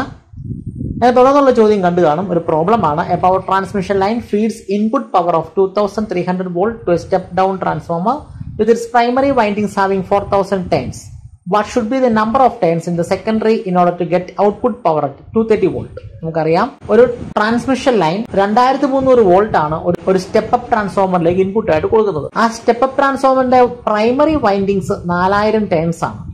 അതായത് പ്രൈമറിയിലെ നമ്പർ ഓഫ് ടേൺസ് നാലായിരം ടേൺ അങ്ങനെയാണെങ്കിൽ സെക്കൻഡറിയിലെ നമ്പർ ഓഫ് ടേൺസ് എത്രയായിരിക്കണം? നമുക്ക് ഔട്ട്പുട്ട് എത്ര കിട്ടേണ്ടതെന്ന് പറയുന്നുണ്ട്. ഇരുന്നൂറ്റി മുപ്പത് വോൾട്ട് ആണ്. അതായത് ഇൻപുട്ട് കൊടുക്കുന്ന രണ്ടായിരത്തി മുന്നൂറ് വോൾട്ടും ഔട്ട്പുട്ട് കിട്ടുന്നത് ഇരുന്നൂറ്റി മുപ്പത് വോൾട്ടും അപ്പൊ തന്നെ മനസ്സിലായി ഇത് എന്ത് ട്രാൻസ്ഫോമർ ആണ്? സ്റ്റെപ്പ് ഡൗൺ ട്രാൻസ്ഫോമർ ആണ്. ഇതിന്റെ എക്സ്പ്രഷൻസും കാര്യങ്ങളൊക്കെ നിങ്ങൾ പഠിച്ചു വെച്ചിട്ടുണ്ട്. അതുകൊണ്ട് ഇതിന്റെ എക്സ്പ്രഷൻ നമുക്ക് പെട്ടെന്ന് നോക്കാം. അപ്പൊ ട്രാൻസ്ഫോമറിന്റെ പ്രോബ്ലംസ് ഏത് കിട്ടിയാലും ദാ ഈ ഒരു ഇക്വേഷൻ കാണാൻ പഠിച്ചു വെച്ചാൽ മതി. V S by V P equals N S by N P equals I P by I S V S എന്ന് പറയുന്നത് സെക്കൻഡറിയിലെ വോൾട്ടേജ് ആണ്. വി പി എന്ന് വെച്ചാൽ പ്രൈമറിയിലെ വോൾട്ടേജ് ആണ്. N S number of turns in the secondary ആണ്. N B number of turns in the primary ആണ്. I P current in the primary ആണ്. ഐ എസ് കറണ്ട് സെക്രട്ടറിയാണ് അപ്പൊ ഈ ഒരു ഇക്വേഷൻ കാണാൻ പഠിച്ചു വെച്ചേക്കുക V S by V P equals N S by N P equals I P by S ഭൂരിപക്ഷം ആൾക്കാർക്ക് ഈ ഇക്വേഷൻ അറിയാം. ഈ ടോപ്പിക് ഇതുവരെ നോക്കാൻ സാധിക്കാത്തവർ ഈ ഒരു ഇക്വേഷൻ പഠിച്ചു വെച്ചിരിക്കുക ഓക്കെ നമുക്ക് ഈ പ്രോബ്ലം എങ്ങനെ ചെയ്യുമെന്ന് നോക്കാം. നമുക്കറിയാം ഈ പ്രോബ്ലം ചെയ്യാൻ വേണ്ടി നമ്മുടെ കയ്യിലുള്ളത് എന്തൊക്കെയാണ്? നമുക്ക് തന്നിട്ടുള്ളത് നമ്മുടെ ക്വസ്റ്റൻ അനുസരിച്ച് സെക്കൻഡറിയിലെ വോൾട്ടേജ് ഉണ്ട് പ്രൈമറിയിലെ വോൾട്ടേജ് ഉണ്ട് സെക്കൻഡറിയിലെ നമ്പർ ഓഫ് ടൈംസ് ഉണ്ട്. കണ്ടുപിടിക്കേണ്ടത് ഇതിന്റെ പ്രൈമറിയിലെ നമ്പർ ഓഫ് ടൈംസ് ആണ്. അപ്പൊ നമുക്ക് ഇക്വേഷൻ ഉണ്ട് V S by V P equals N S by N P ആണ്. അപ്പൊ അതിൽ നമ്മൾ വാല്യൂ സബ്സ്റ്റിറ്റ്യൂട്ട് കൊടുത്തിട്ടുണ്ട്. Two thirty is the secondary voltage two thousand three hundred is the primary voltage നമുക്ക് സ്റ്റെപ്പ് ഡൗൺ ആക്കാനാണ് നമ്മൾ നേരത്തെ തന്നെ പറഞ്ഞിരുന്നു. ഓക്കെ അപ്പോൾ വാല്യൂ സബ്സ്റ്റിറ്റ് ചെയ്ത് കൊടുത്തു. മൾട്ടിപ്ലൈ ചെയ്തു. എൻ എസ് കണ്ടുപിടിക്കണം. എൻ എസ് നമുക്ക് കിട്ടിയത് എങ്ങനെയാണ്? ഫോർ ഹൺഡ്രഡ് ടേൺസ് ആണ്. വളരെ സിമ്പിൾ ആയിട്ടുള്ള ക്വസ്റ്റൻ ആണ്. നമുക്ക് ഈ പ്രോബ്ലംസ് ഇതുപോലെ തന്നെ ഈ വർഷവും ചോദിക്കാം. നമുക്ക് വാല്യൂസിൽ മാത്രമുള്ള വ്യത്യാസമേ കാണൂ. നമുക്ക് വളരെ എളുപ്പത്തിൽ നമുക്ക് മാർക്ക് സ്കോർ ചെയ്യാൻ പറ്റും. അപ്പോൾ ഇങ്ങനെയുള്ള ക്വസ്റ്റ്യൻസുമായിട്ട് ഒന്ന് പരിചയപ്പെട്ടിരിക്കുന്നത് നല്ലതായിരിക്കും. രണ്ടായിരത്തി പത്തൊമ്പതിലെ മറ്റൊരു ചോദ്യമായിരുന്നു. ഈ കാണുന്നത് നിങ്ങൾക്കറിയാം ദി എർത്ത് മാഗ്നറ്റിസവുമായിട്ട് ബന്ധപ്പെട്ടൊരു ചോദ്യമാണ്. The elements of earth magnetic field at a place are declination dip and horizontal intensity നിങ്ങൾ എല്ലാവരും ഇതിനെക്കുറിച്ചൊരു ഡീറ്റെയിൽഡ് സ്റ്റഡി നടത്തിയിട്ടുള്ളവരാണ്. ചോദ്യം ഇതാണ് a magnetic needle free to move in horizontal plane is shown below അവിടെ ഒരു മാഗ്നറ്റിക് നീഡിലാണ് അത് ഫ്രീ ടു മൂവ് ആണ്. Which element of earth's magnetic field is represented by theta in the figure അപ്പൊ നമുക്ക് തീർച്ചയായിട്ടും അറിഞ്ഞിരിക്കേണ്ട മൂന്ന് കാര്യങ്ങൾ ക്വസ്റ്റിലുണ്ട്. Dip declination and horizontal intensity അവരാരൊക്കെയാണ്? അതാണ് മാഗ്നറ്റിക് എലമെന്റ്സ് ഓഫ് എർത്ത് ഓർത്തിരിക്കാം. അപ്പൊ ഇതുമായിട്ട് ബന്ധപ്പെട്ടൊരു ചോദ്യം വരാം. അപ്പോൾ ഡിപ്പ് എന്താണെന്ന് ചോദിക്കാം ഡിക്ലിനേഷൻ എന്താണെന്ന് ചോദിക്കാം ഹൊറിസോണ്ടൽ ടെൻഡൻസി എന്താണെന്ന് ചോദിക്കാം. പക്ഷേ ഈ ചോദ്യം അങ്ങനെയല്ല. ഫിഗർ തന്നിട്ട് ആ ഫിഗറിന് തീറ്റ എന്താണെന്ന് അറിയാൻ വേണ്ടിയാണ്. നമുക്ക് അത് നോക്കാം. ഈ ഫിഗറിൽ തന്നെ നമുക്ക് കാണാം. ട്രൂ നോർത്ത് എന്ന് കാണിച്ചിട്ടുണ്ട്. ട്രൂ നോർത്ത് എന്ന് പറയുന്നത് ജിയോഗ്രഫിക്കൽ ആണ്. അതായത് എർത്തിലെ ഭൂമിശാസ്ത്രപരമായ നോർത്ത് മറ്റേ മാഗ്നറ്റിക് നീഡിലപ്പോൾ ഇരിക്കുന്നത് എങ്ങോട്ടായിരിക്കും? എർത്തിന്റെ മാഗ്നറ്റിക് നോർത്തിലോട്ട് നോക്കിയായിരിക്കാം. അപ്പോൾ ഇത് മാഗ്നറ്റിക് നോർത്തിനും ജിയോഗ്രഫിക് നോർത്തിനും ഇടയ്ക്കുള്ള ആംഗിളാണ് തീറ്റ കാണിച്ചിരിക്കുന്നത്. അത് നിങ്ങൾക്കറിയാം. അത് ഡിക്ലിനേഷൻ ആണ്. അപ്പോൾ തീറ്റ ആംഗിൾ ഡിക്ലിനേഷൻ ആണെന്ന് മനസ്സിലാക്കാം. അടുത്ത ഒരു ചോദ്യം ഇതുമായിട്ട് ബന്ധപ്പെട്ട് തന്നെയാണ്. The vertical component of earth's magnetic field at a given place is root three times its horizontal component if total intensity of earth's magnetic field at that place is point four gauss find the value of horizontal component of earth's magnetic field question നന്നായിട്ട് വായിച്ചു നോക്കുക മനസ്സിലാക്കുക. തന്നിട്ടുള്ളത് എന്താണ്? തന്നിട്ടുള്ളത് എന്താണ്? നമ്മളോട് പറഞ്ഞേക്കുന്നത് the vertical component of earth magnetic field root three times horizontal കമ്പോണിനേക്കാളും കൂടുതലാണ്. മാത്രമല്ല ടോട്ടൽ മാഗ്നറ്റിക് ഫീൽഡ് തന്നിട്ടുണ്ട് പോയിന്റ് ഫോർ ഗോസ് ആണ്. എങ്കിൽ ഹൊറിസോണ്ടൽ കമ്പോണ്ട് എത്രയാണെന്നും കണ്ടുപിടിക്കണം. നമുക്കൂടെ നോക്കാം. ഇങ്ങനെയുള്ള പ്രോബ്ലങ്ങൾ നമുക്ക് എപ്പോഴും ഓർത്തിരിക്കേണ്ട ഇക്വേഷൻ ആണ്. Tan theta equals B B by B H ആണ്. തീറ്റ എന്ന് പറയുന്നത് ആംഗിൾ ഓഫ് ഡിപ്പ് ആണ്. അപ്പൊ tan theta B V by B H B V vertical component of S magnetic ഫീൽഡും B H horizontal component of S magnetic ഫീൽഡും ആണ്. അപ്പൊ നമുക്ക് തന്നിട്ടുള്ളത് എന്താണ്? നമ്മൾ എഴുതിയിട്ടുണ്ട്. നമുക്ക് തന്നിട്ടുള്ളത് B H is the horizontal component of earth's magnetic field നമുക്ക് തന്നിട്ടുള്ളത് വെർട്ടിക്കൽ കമ്പോണന്റ് ആയ ആയ B V root three times കൂടുതലാണ് ഹൊറിസോണൽ കമ്പോണന്റ് ആയ ബി എച്ചിനേക്കാൾ അപ്പൊ നമുക്ക് ടാൻ തീറ്റ ഈക്വൽസ് എഴുതാം. B V by B H ആണ്. പക്ഷെ നമ്മളോട് പറഞ്ഞേക്കുന്നത് ബി വി അതായത് vertical component root three times B H ആണ്. അപ്പൊ നമ്മൾ root three B H by originally B H horizontal component B എച്ചും B H cancel ആയപ്പോൾ റൂട്ട് ത്രീ കിട്ടും അല്ലെ? അപ്പൊ ടാൻ തീറ്റ റൂട്ട് ത്രീ കിട്ടി. അങ്ങനെയാണെങ്കിൽ തീറ്റ എന്ന് പറഞ്ഞാൽ ടാൻ ഇൻവേസ് റൂട്ട് ത്രീ ആണ്. അപ്പൊ സിക്സ്റ്റി ഡിഗ്രി നീട്ടി അപ്പൊ ആംഗിൾ ഓഫ് ഡിപ്പ് കിട്ടി സിക്സ്റ്റി ഇനി നമ്മളോട് പറഞ്ഞേക്കുന്നത് total mind field B point four gauss ആണ് തന്നിട്ട് അപ്പോ വെർട്ടിക്കൽ കമ്പോണന്റും ഹൊറിസോണൽ കമ്പോണന്റും റെസൊല്യൂഷൻ ഓഫ് വെക്ടേഴ്സിൽ പതിനൊന്നാം ക്ലാസ് നമ്മൾ പഠിച്ചിട്ടുള്ളതാണ്. Horizontal component B cos theta എന്ന് എഴുതാം. Vertical component B sine theta എന്ന് എഴുതാം. നമുക്കിപ്പോൾ ഹൊറിസോണൽ കമ്പോണന്റ് മതി. ഹൊറിസോണൽ കമ്പോണന്റ് നമുക്ക് കണ്ടുപിടിക്കണം. B H equals B cos theta ആണ്.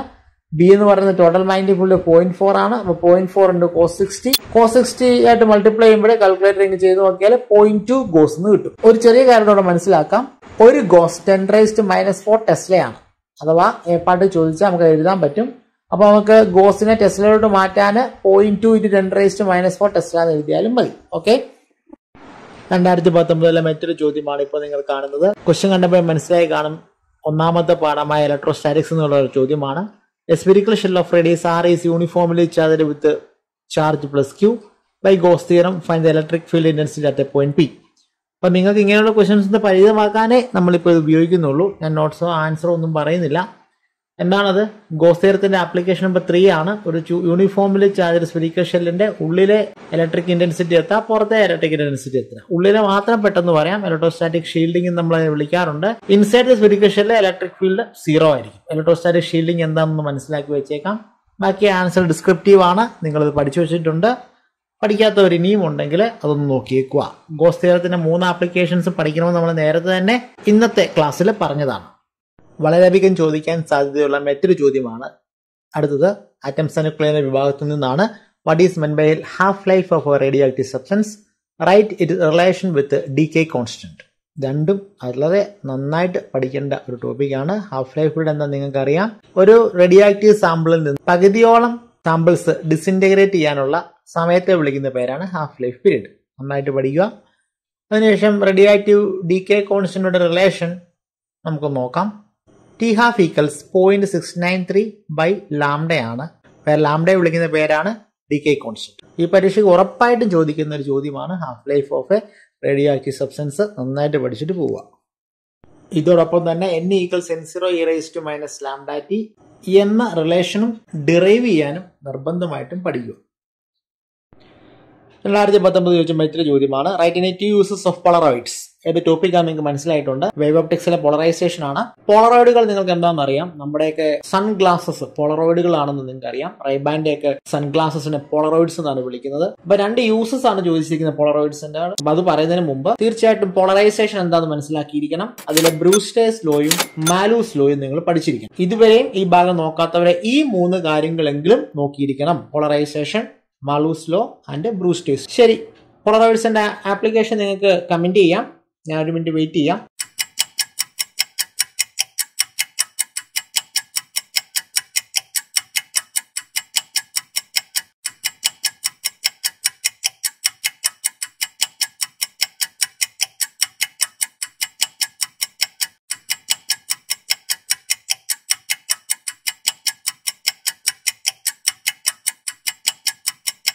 തീർച്ചയായിട്ടും പോളറോയിഡ്സിന്റെ ആപ്ലിക്കേഷൻ ഇവയൊക്കെയാണ്. പോളറോയിഡ്സിന്റെ സൺഗ്ലാസസിൽ ഉപയോഗിക്കാം. ലിക്വിഡ് ക്രിസ്റ്റൽ ഡിസ്പ്ലേ നമ്മുടെയൊക്കെ ടെലിവിഷൻസിന് കമ്പ്യൂട്ടറിന്റെ മോണിറ്ററുകൾ എൽ സി ഡി ഡിസ്പ്ലേസ് ഉണ്ട്. Polarization of radio and microwave signals ഉണ്ട്. ത്രീ ഡി എഫക്റ്റുകൾ ഉണ്ട് ഇവയൊക്കെയാണ് ഇവരുടെ ഉപയോഗമായിട്ട് നമുക്ക് എഴുതാൻ സാധിക്കുന്നത്. രണ്ടായിരത്തി പത്തൊമ്പതിൽ ചോദിച്ച ഒരു മാർക്കിന്റെ ഒരു ട്രിക്കി ക്വസ്റ്റൻ ആണ് അടുത്തത്. If H is the Planck's constant the momentum of a photon of wave the one angstrom is നമുക്കിത് ഡ്യുവൽ നേച്ചർ എന്ന ചാപ്റ്ററിന് ആധികാരികമായിട്ടുള്ള ഒരു ക്വസ്റ്റൻ എന്ന് പറയാം. എങ്കിലും ചോദ്യം ഒന്നുകൂടെ നോക്കിയാട്ടെ if H is the Planck's constant the momentum of a photon of wavelength one angstrom is നിങ്ങൾക്ക് നാല് ഓപ്ഷൻസ് ഉണ്ട്. ഉത്തരങ്ങൾ കമന്റ് ചെയ്താട്ടെ.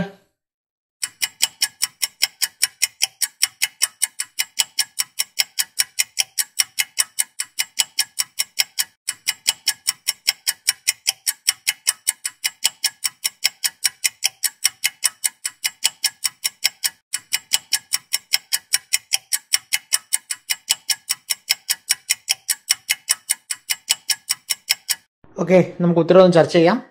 നമുക്കറിയാം momentum P equals M into B ആണ്. പക്ഷേ ഇത് ഫോട്ടോണുകളുടെ മൊമെന്റം ആണ്. ഫോട്ടോൺസിനെ പാർട്ടിക്കിൾസ് ആയിട്ട് അസ്യൂം ചെയ്താൽ പാർട്ടിക്കിൾ നേച്ചറിലുള്ള വേവിന്റെ wave length de Broglie wave length ആണ്. അത് നമുക്കറിയാം lambda is equal to H by P ആണ്. H is Planck's constant P is the momentum അപ്പോൾ P equals H by lambda ആണ്. നമുക്ക് തന്നിട്ടുണ്ട് ലാംഡ ഈക്വൽസ് വൺ ആംസ്ട്രോങ് ആണെന്ന്. ഒരു angstrom ten raise to minus ten metre ആണ്. അതുകൊണ്ട് തന്നെ പി ഈക്വൽ എച്ച് ബൈ ലാംഡയുടെ സ്ഥാനത്ത് ten raise to minus ten to കൊടുത്താൽ നമുക്ക് അവിടെ കിട്ടും P equals ten raise to ten H എന്ന് എഴുതാം. ശരിയല്ലേ? അപ്പോൾ ഓപ്ഷൻ നമ്പർ സി ആണ് ഉത്തരം.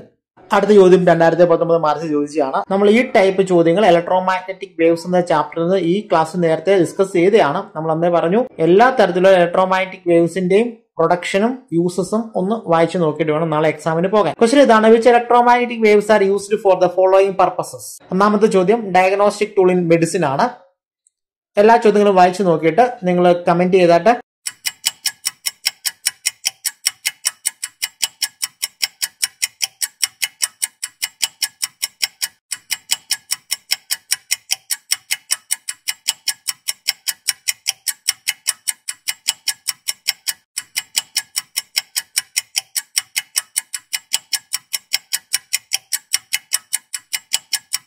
അപ്പോൾ ഡയഗ്നോസ്റ്റിക് ടൂൾസ് ഇൻ മെഡിസിൻ എന്താണെന്ന് നിങ്ങൾക്ക് അറിയാം നമുക്ക് എക്സ്റേ എടുക്കുമ്പോഴാണ് കുട്ടി എല്ലുകളുടെയൊക്കെ ചിത്രങ്ങൾ നമുക്ക് ലഭിക്കുന്നത്. അപ്പോൾ ഒന്നാമത് ചോദ്യം ഉത്തരം എക്സ്റേ ആണ്.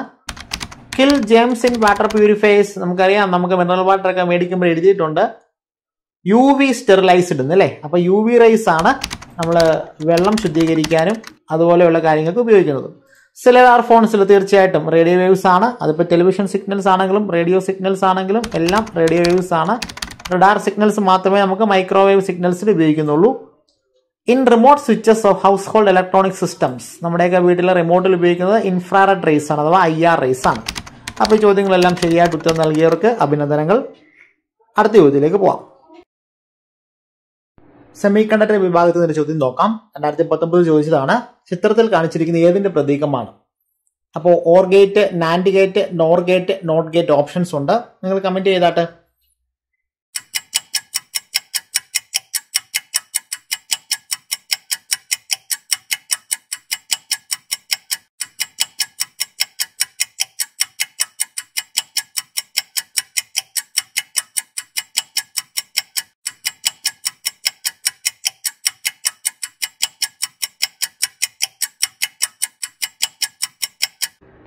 തീർച്ചയായിട്ടും അതൊരു നോർ ഗേറ്റ് ആണ്. ഉത്തരം എഴുതിയ എല്ലാവർക്കും അഭിനന്ദനങ്ങൾ. നാല് ഗേറ്റുകളുടെയും ഫിഗറുകൾ നിങ്ങളൊന്ന് മനസ്സിലാക്കിയിട്ട് എക്സാമിന് പോകുന്നത് നല്ലതായിരിക്കും. ഓറ് നാൻഡ് നോറ് നോട്ട് രണ്ടായിരത്തി ഇരുപതിലെ മോഡൽ എക്സാമിന്റെ ചോദ്യമാണ് നമ്മളിപ്പോൾ കാണുന്നത്. Direction of electric field is always dash to equipotential surface comment ചെയ്യാമോ ആൻസർ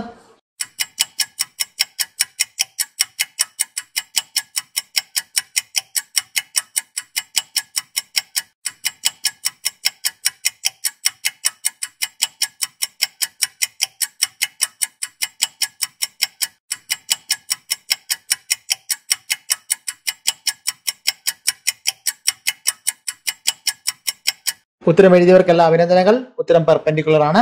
അടുത്ത ചോദ്യം നോക്കാം. രണ്ടായിരത്തി ഇരുപതിലെ മോഡൽ എക്സാമിന് ക്വസ്റ്റ്യൻ ആയിരുന്നു. The polarity of induced D M F in electromagnetic induction is given by answer ഇവിടെ മാർക്ക് ചെയ്തിട്ടുണ്ട്.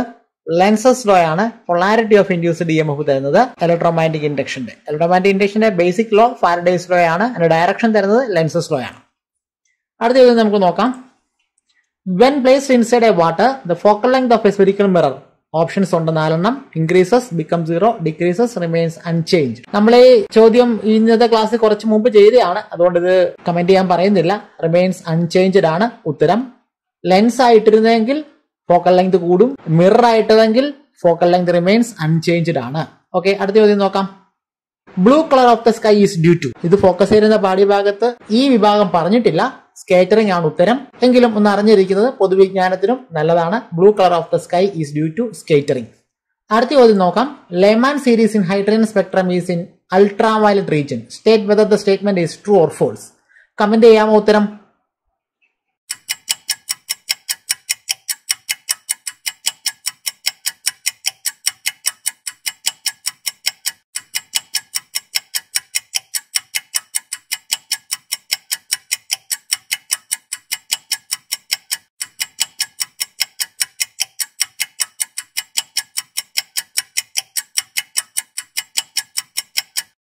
അതേ നിങ്ങളുടെ ഉത്തരങ്ങൾ ശരിയാണ്. ലേമാൻ സീരീസ് യുവറേസിലാണ് അപ്പോൾ ഇത് ട്രൂ ആണ്. ആൻസർ മെറ്റ് സീരീസിൽ ഏത് റീജിയനിലാണ് പറഞ്ഞിരിക്കുന്നത് നല്ലതാണ്. ബാമർ സീരീസ് വിസിബിൾ റീജിയനിലാണ് പാഷൻ സീരീസ് ഇൻഫ്രാറെഡ് റീജിയനിലാണ് ബ്രാക്കറ്റ് സീരീസും ഇൻഫ്രാറെഡ് റീജിയനാണ് ഫണ്ട് സീരീസ് ഫാർ ഇൻഫ്രാറെഡ് റീജിയനിലാണ് ഹംഫ്രി സീരീസ് എന്നൊരു സീരീസ് ഉണ്ട്. അതും ഫാർ ഇൻഫ്രാറെഡ് സീരീസിലാണ് അപ്പോൾ ഇതും കൂടെ നോക്കിയിരിക്കുന്നത് വളരെ നല്ലതായിരിക്കും. ഈ ചോദ്യം മാർച്ച് രണ്ടായിരത്തി പതിനേഴിലെ ഒരു ചോദ്യമാണ്. An electric charge Q is moving with a velocity v in the direction of magnetic field B. The magnetic force acting on the charges. Moving charges and magnetism എന്ന ചാപ്റ്ററിലെ ഒരു ചോദ്യമാണ്. അപ്പോൾ ഒരു ഇലക്ട്രിക് ചാർജ് വി വെലോസിറ്റിയിൽ magnetic field ബിയുടെ ദിശയിൽ സഞ്ചരിക്കുകയാണ്. എങ്കിൽ മാഗ്നറ്റിക് ഫോഴ്സ് എത്രയാണ്? അപ്പോൾ ഒരു ചാർജഡ് പാർട്ടിക്കിൾ മാഗ്നറ്റിക് ഫീൽഡിൽ കൂടെ പോകുമ്പോൾ ഉണ്ടാകുന്ന ഫോഴ്സ് നിങ്ങൾക്ക് അറിയാം ലോറൻസ് ഫോഴ്സ് ആണ്. ഉത്തരങ്ങൾ കമന്റ് ചെയ്യാമോ?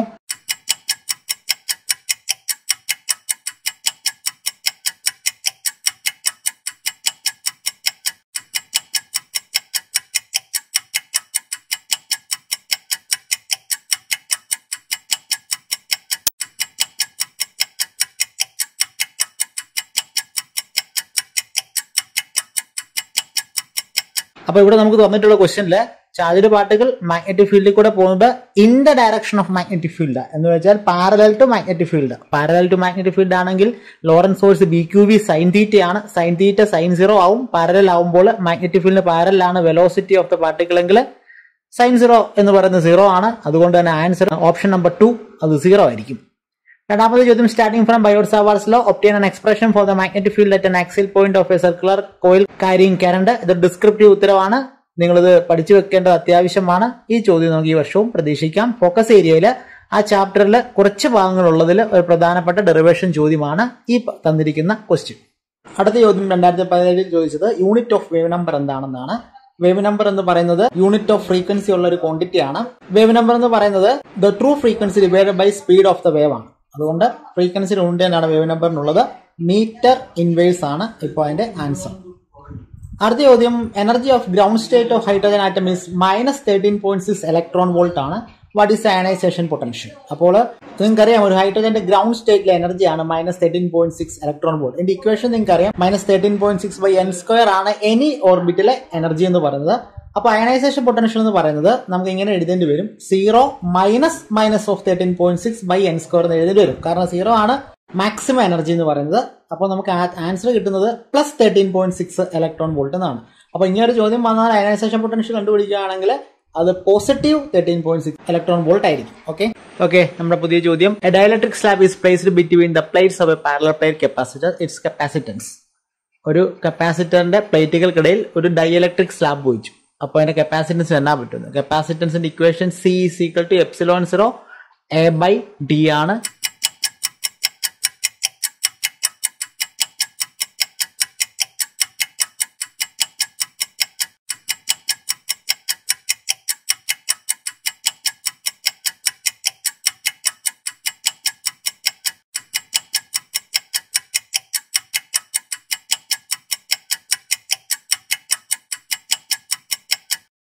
അപ്പോൾ ഉത്തരങ്ങൾ ശരിയാണ്. കപ്പാസിറ്റൻസ് എന്നാ പറ്റും? ഡയലക്ട്രിക് സ്ലാബ് പ്ലേസ് ചെയ്താൽ കപ്പാസിറ്റൻസ് ഇൻക്രീസ് ചെയ്യും. അപ്പോൾ ഉത്തരം കപ്പാസിറ്റൻസ് ഇൻക്രീസ് ചെയ്യുന്നുള്ള ഓപ്ഷനാണ് അടുത്ത ചോദ്യം കൂടെ നോക്കാം. അടുത്ത ചോദ്യം ഇതാണ്. Derive an expression for energy stored in a capacity descriptive ആയിട്ടുള്ള ഉത്തരമാണ്. ഹാഫ് സി ബി സ്ക്വയർ എന്ന ഉത്തരം കിട്ടുന്ന ചോദ്യമാണ്. നിങ്ങൾ തീർച്ചയായിട്ടും ഈ ചോദ്യത്തിന്റെ ഉത്തരം പഠിച്ചു വെച്ചിരിക്കണം. ഉറപ്പായിട്ട് ഈ എക്സാമിന് ചോദിക്കുന്ന ഒരു ക്വസ്റ്റ്യൻ ആണ്. Expression of energy stored in a capacity അടുത്ത ചോദ്യം നമുക്ക് നോക്കാം. Speed of light in glass is two in ten raise metre per second ആണ്. എങ്കിൽ റിഫ്രാക്റ്റീവ് ഇൻഡെക്സ് ഓഫ് ഗ്ലാസ് കണ്ടുപിടിക്കാം. നമുക്ക് നോക്കാം. അപ്പോൾ സ്പീഡ് ഓഫ് ലൈറ്റ് തന്നിട്ടുണ്ട് നമുക്ക് two in ten raise metre per second ആണ്. ഇക്വേഷൻ നമുക്കറിയാം. N equal c by v ആണ്. Refractive index equals velocity of light in vacuum to velocity night in new medium ആണ്. വാക്വത്തിന്റെ velocity three in ten raise two eight ആണ്. പുതിയ മീഡിയത്തിൽ നമുക്ക് തന്നിട്ടുണ്ട് two in ten raise metre per second ആണ്. അപ്പോൾ റിവൈഡ് ചെയ്യുമ്പോൾ കിട്ടുന്ന ആൻസർ വൺ പോയിന്റ് ഫൈവ് ആണ്. നമുക്ക് എല്ലാവർക്കും അറിയാം റിഫ്രാക്റ്റീവ് ഇൻഡെക്സ് ഓഫ് ഗ്ലാസ് എത്രയാണ്? വൺ പോയിന്റ് ഫൈവ് ആണ്. അങ്ങനെയാണ് ചെയ്യുന്നത്. അടുത്ത ചോദ്യം കൂടെ പെട്ടെന്ന് നോക്കാം. How many electrons constitute an electric charge of sixteen microcoulomb അപ്പോൾ ഇത് ചെയ്യുന്നത് ഇങ്ങനെയാണ്. ക്യൂ ഈക്വൽസ് എന്നെയാണ് നമ്മുടെ ഇക്വേഷൻ ക്യൂ ഈക്വൽസ് എന്നെ നമുക്ക് ചെയ്യുമ്പോൾ ക്യൂ ആണ് നമ്മുടെ total number of charges sixteen microcoulomb ആണ്. എന്നാണ് കണ്ടുപിടിക്കേണ്ടത്. E is the standard unit of charge ആണ്. One point six ten raised minus nineteen കൂളമ്പാണ് അപ്പോൾ അതിൽ നിന്ന് എന്നെ റെഡ്യൂസ് ചെയ്യണം. ഇപ്പോൾ നിങ്ങൾക്ക് ഇവിടെ ചെയ്തിരിക്കുന്നത് കാണാം. എന്ന് നമുക്ക് എന്നാ കിട്ടും? ടെൻ റേസ്റ്റ് ഫോർട്ടീൻ എന്ന് കിട്ടും. അപ്പോൾ നമുക്ക് ഈ തന്നിരിക്കുന്ന ഓപ്ഷനുകളിൽ സെക്കൻഡ് ഓപ്ഷനാണ് കറക്റ്റ് ആൻസർ അതിനെ തുടർന്ന് മറ്റൊരു ചോദ്യം കൊണ്ടുണ്ട് electric dipole a pair of equal and opposite point charges plus q and minus q separated by distance r write and expression for its dipole moment simple ചോദ്യമാണ്. നമുക്ക് ഈ പ്രാവശ്യം തീർച്ചയായിട്ടും പ്രതീക്ഷിക്കാം. Dipole moment equation one of the charge multiplied by distance between two charges ആണ്. ഇതൊക്കെ നിങ്ങൾക്ക് dipole moment p is equal to two a into q എന്ന് എഴുതാറുണ്ട് നമ്മൾ അല്ലേ? നിങ്ങൾ സ്കൂളിൽ പഠിച്ചിട്ടുള്ള രീതിയിൽ അത് എഴുതാം. അതിനടുത്തുള്ള ചോദ്യം മൂന്നാമത്തെ ചോദ്യം നമ്മുടെ ഫോക്കസ് ഏരിയയിൽ ഉള്ളതല്ല. എങ്കിലും ഒന്ന് പറഞ്ഞേക്കാം. When electric dipole is subjected to an uniform electric field നേരത്തെ പറഞ്ഞ ഡൈപോൾ ഒരു ഇലക്ട്രിക് ഫീൽഡ് വെച്ചാൽ എന്ത് സംഭവിക്കുന്നു ടോർക്ക് ഉണ്ടാവുന്നുള്ളതാണ് ഉത്തരം ടോർക്ക് അടുത്ത ചോദ്യം നോക്കാം. സെമി കണ്ടക്ടർ എന്ന ചാപ്റ്ററിൽ നിന്നാണ് ഗേറ്റ്സ് നാലെണ്ണവും നമ്മൾ പഠിക്കണം നേരത്തെ തന്നെ പറഞ്ഞിരുന്നു. അതിൽ നോർ ഗേറ്റിന്റെ ട്രൂത്ത് ടേബിൾ എഴുതാനാണ് പറഞ്ഞിരിക്കുന്നത്. നിങ്ങൾക്ക് ഇവിടെ കാണാം നോർ ഗേറ്റ് ഒരു നോർ ഗേറ്റ് എന്താ ചെയ്യുന്നതെന്ന് അറിയാം. ഓർ ഗേറ്റിനെ നാൻഡ് ഗേറ്റുമായിട്ട് കമ്പൈൻ ചെയ്യുന്നതാണ് നോർ ഗേറ്റ് അടുത്ത ചോദ്യം നോക്കാം. A concave lens always produces dash images virtual images എന്നുള്ളതാണ് ശരിയായിട്ടുള്ള ഉത്തരം എ കോൺകേവ് ലെൻസ് എപ്പോഴും വെർച്വൽ ഇമേജസ് ആണ് ഉണ്ടാക്കുന്നത്. ഓക്കെ നമ്മൾ ഏകദേശം ഇന്നത്തെ ക്ലാസ് അവസാനിപ്പിക്കാറായി. കുറേയധികം ക്വസ്റ്റ്യൻസ് നമ്മൾ നോക്കി നിങ്ങൾക്ക് പ്രയോജനപ്പെടുമെന്ന് വിശ്വസിക്കുന്നു. രണ്ട് ഹോംവർക്ക് ഞാൻ അവിടെ നൽകുകയാണ്. ഒരു ഹോംവർക്ക് എന്ന് പറയുന്നത് ഈ കാണുന്നതാണ്. ലോജിക്കേറ്റ് തന്നിട്ടുണ്ട്. ആ ഫിഗർ നോക്കിയിട്ട് ആ ലോജിക്കേറ്റ് നിങ്ങൾ വരയ്ക്കണം. മാത്രമല്ല കമന്റ് ചെയ്യേണ്ടത് ആ കോമ്പിനേഷൻ ഓഫ് ഗേറ്റ്സിന്റെ പേരെന്താന്ന് ഇവിടെ കമന്റ് ചെയ്യുകയും വേണം. Name the resulting gate formed by the combination of the above gates മറ്റൊരു ഹോംവർക്കും കൂടെ ഉണ്ട്. അത് നമുക്ക് ആറ്റംസ് ആൻഡ് ന്യൂക്ലിയർ എന്ന ടോപ്പിക്കിൽ നിന്നാണ്. The atomic hydrogen emits line spectrum consisting of various series the series observed first draw the energy level diagram of hydrogen atom രണ്ടും രണ്ടായിരത്തി പതിനേഴ് മാർച്ചിലെ ചോദ്യങ്ങളായിരുന്നു. അപ്പോൾ നിങ്ങൾ തീർച്ചയായിട്ടും രണ്ട് ഉത്തരങ്ങളും കമന്റ് ചെയ്യണം. എല്ലാവർക്കും ഈ ക്ലാസ് പ്രയോജനപ്പെട്ടു എന്ന് വിശ്വസിക്കുന്നു. നിങ്ങൾക്കത് പ്രയോജനപ്പെട്ടെന്ന് തോന്നുന്നുണ്ടെങ്കിൽ നിങ്ങൾ നിങ്ങളുടെ കൂട്ടുകാർക്ക് ഇത് ഷെയർ ചെയ്യണം. അപ്പോൾ നമ്മൾ ഇന്ന് നോക്കിയത് രണ്ടായിരത്തി പതിനേഴ് രണ്ടായിരത്തി പതിനെട്ട് രണ്ടായിരത്തി പത്തൊമ്പത് എന്നീ വർഷങ്ങളിലെയും രണ്ടായിരത്തി ഇരുപതിലെ മോഡൽ എക്സാമിന്റെയും ക്വസ്റ്റ്യൻ പേപ്പേഴ്സ് ആണ്. അപ്പോൾ ഇത്രയും ക്വസ്റ്റ്യൻസ് നിങ്ങൾ മനസ്സിലാക്കിയിട്ടുണ്ടെങ്കിൽ നിങ്ങൾക്ക് ട്രിക്കി ക്വസ്റ്റ്യൻസ് കുറേയധികം കിട്ടും. മാത്രമല്ല നിങ്ങൾക്ക് എ പ്ലസ് കിട്ടാൻ കൂടുതൽ ചാൻസസും ഉണ്ടായിരിക്കും. തീർച്ചയായിട്ടും നമ്മൾ മുൻ വർഷങ്ങളിലെ ക്വസ്റ്റ്യൻ പേപ്പറുകൾ നോക്കുന്നത് നമുക്ക് ഒത്തിരി പ്രയോജനം ചെയ്യുന്നതാണ്. അപ്പോൾ എല്ലാവർക്കും ഈ എക്സാമിന് വിദ്യാശംസകൾ നേരുന്നു. നന്നായിട്ട് പരീക്ഷ എഴുതുക. നന്ദി നമസ്കാരം. ജയ് ഹിന്ദ്. ഉന്നയും മണ്ണയും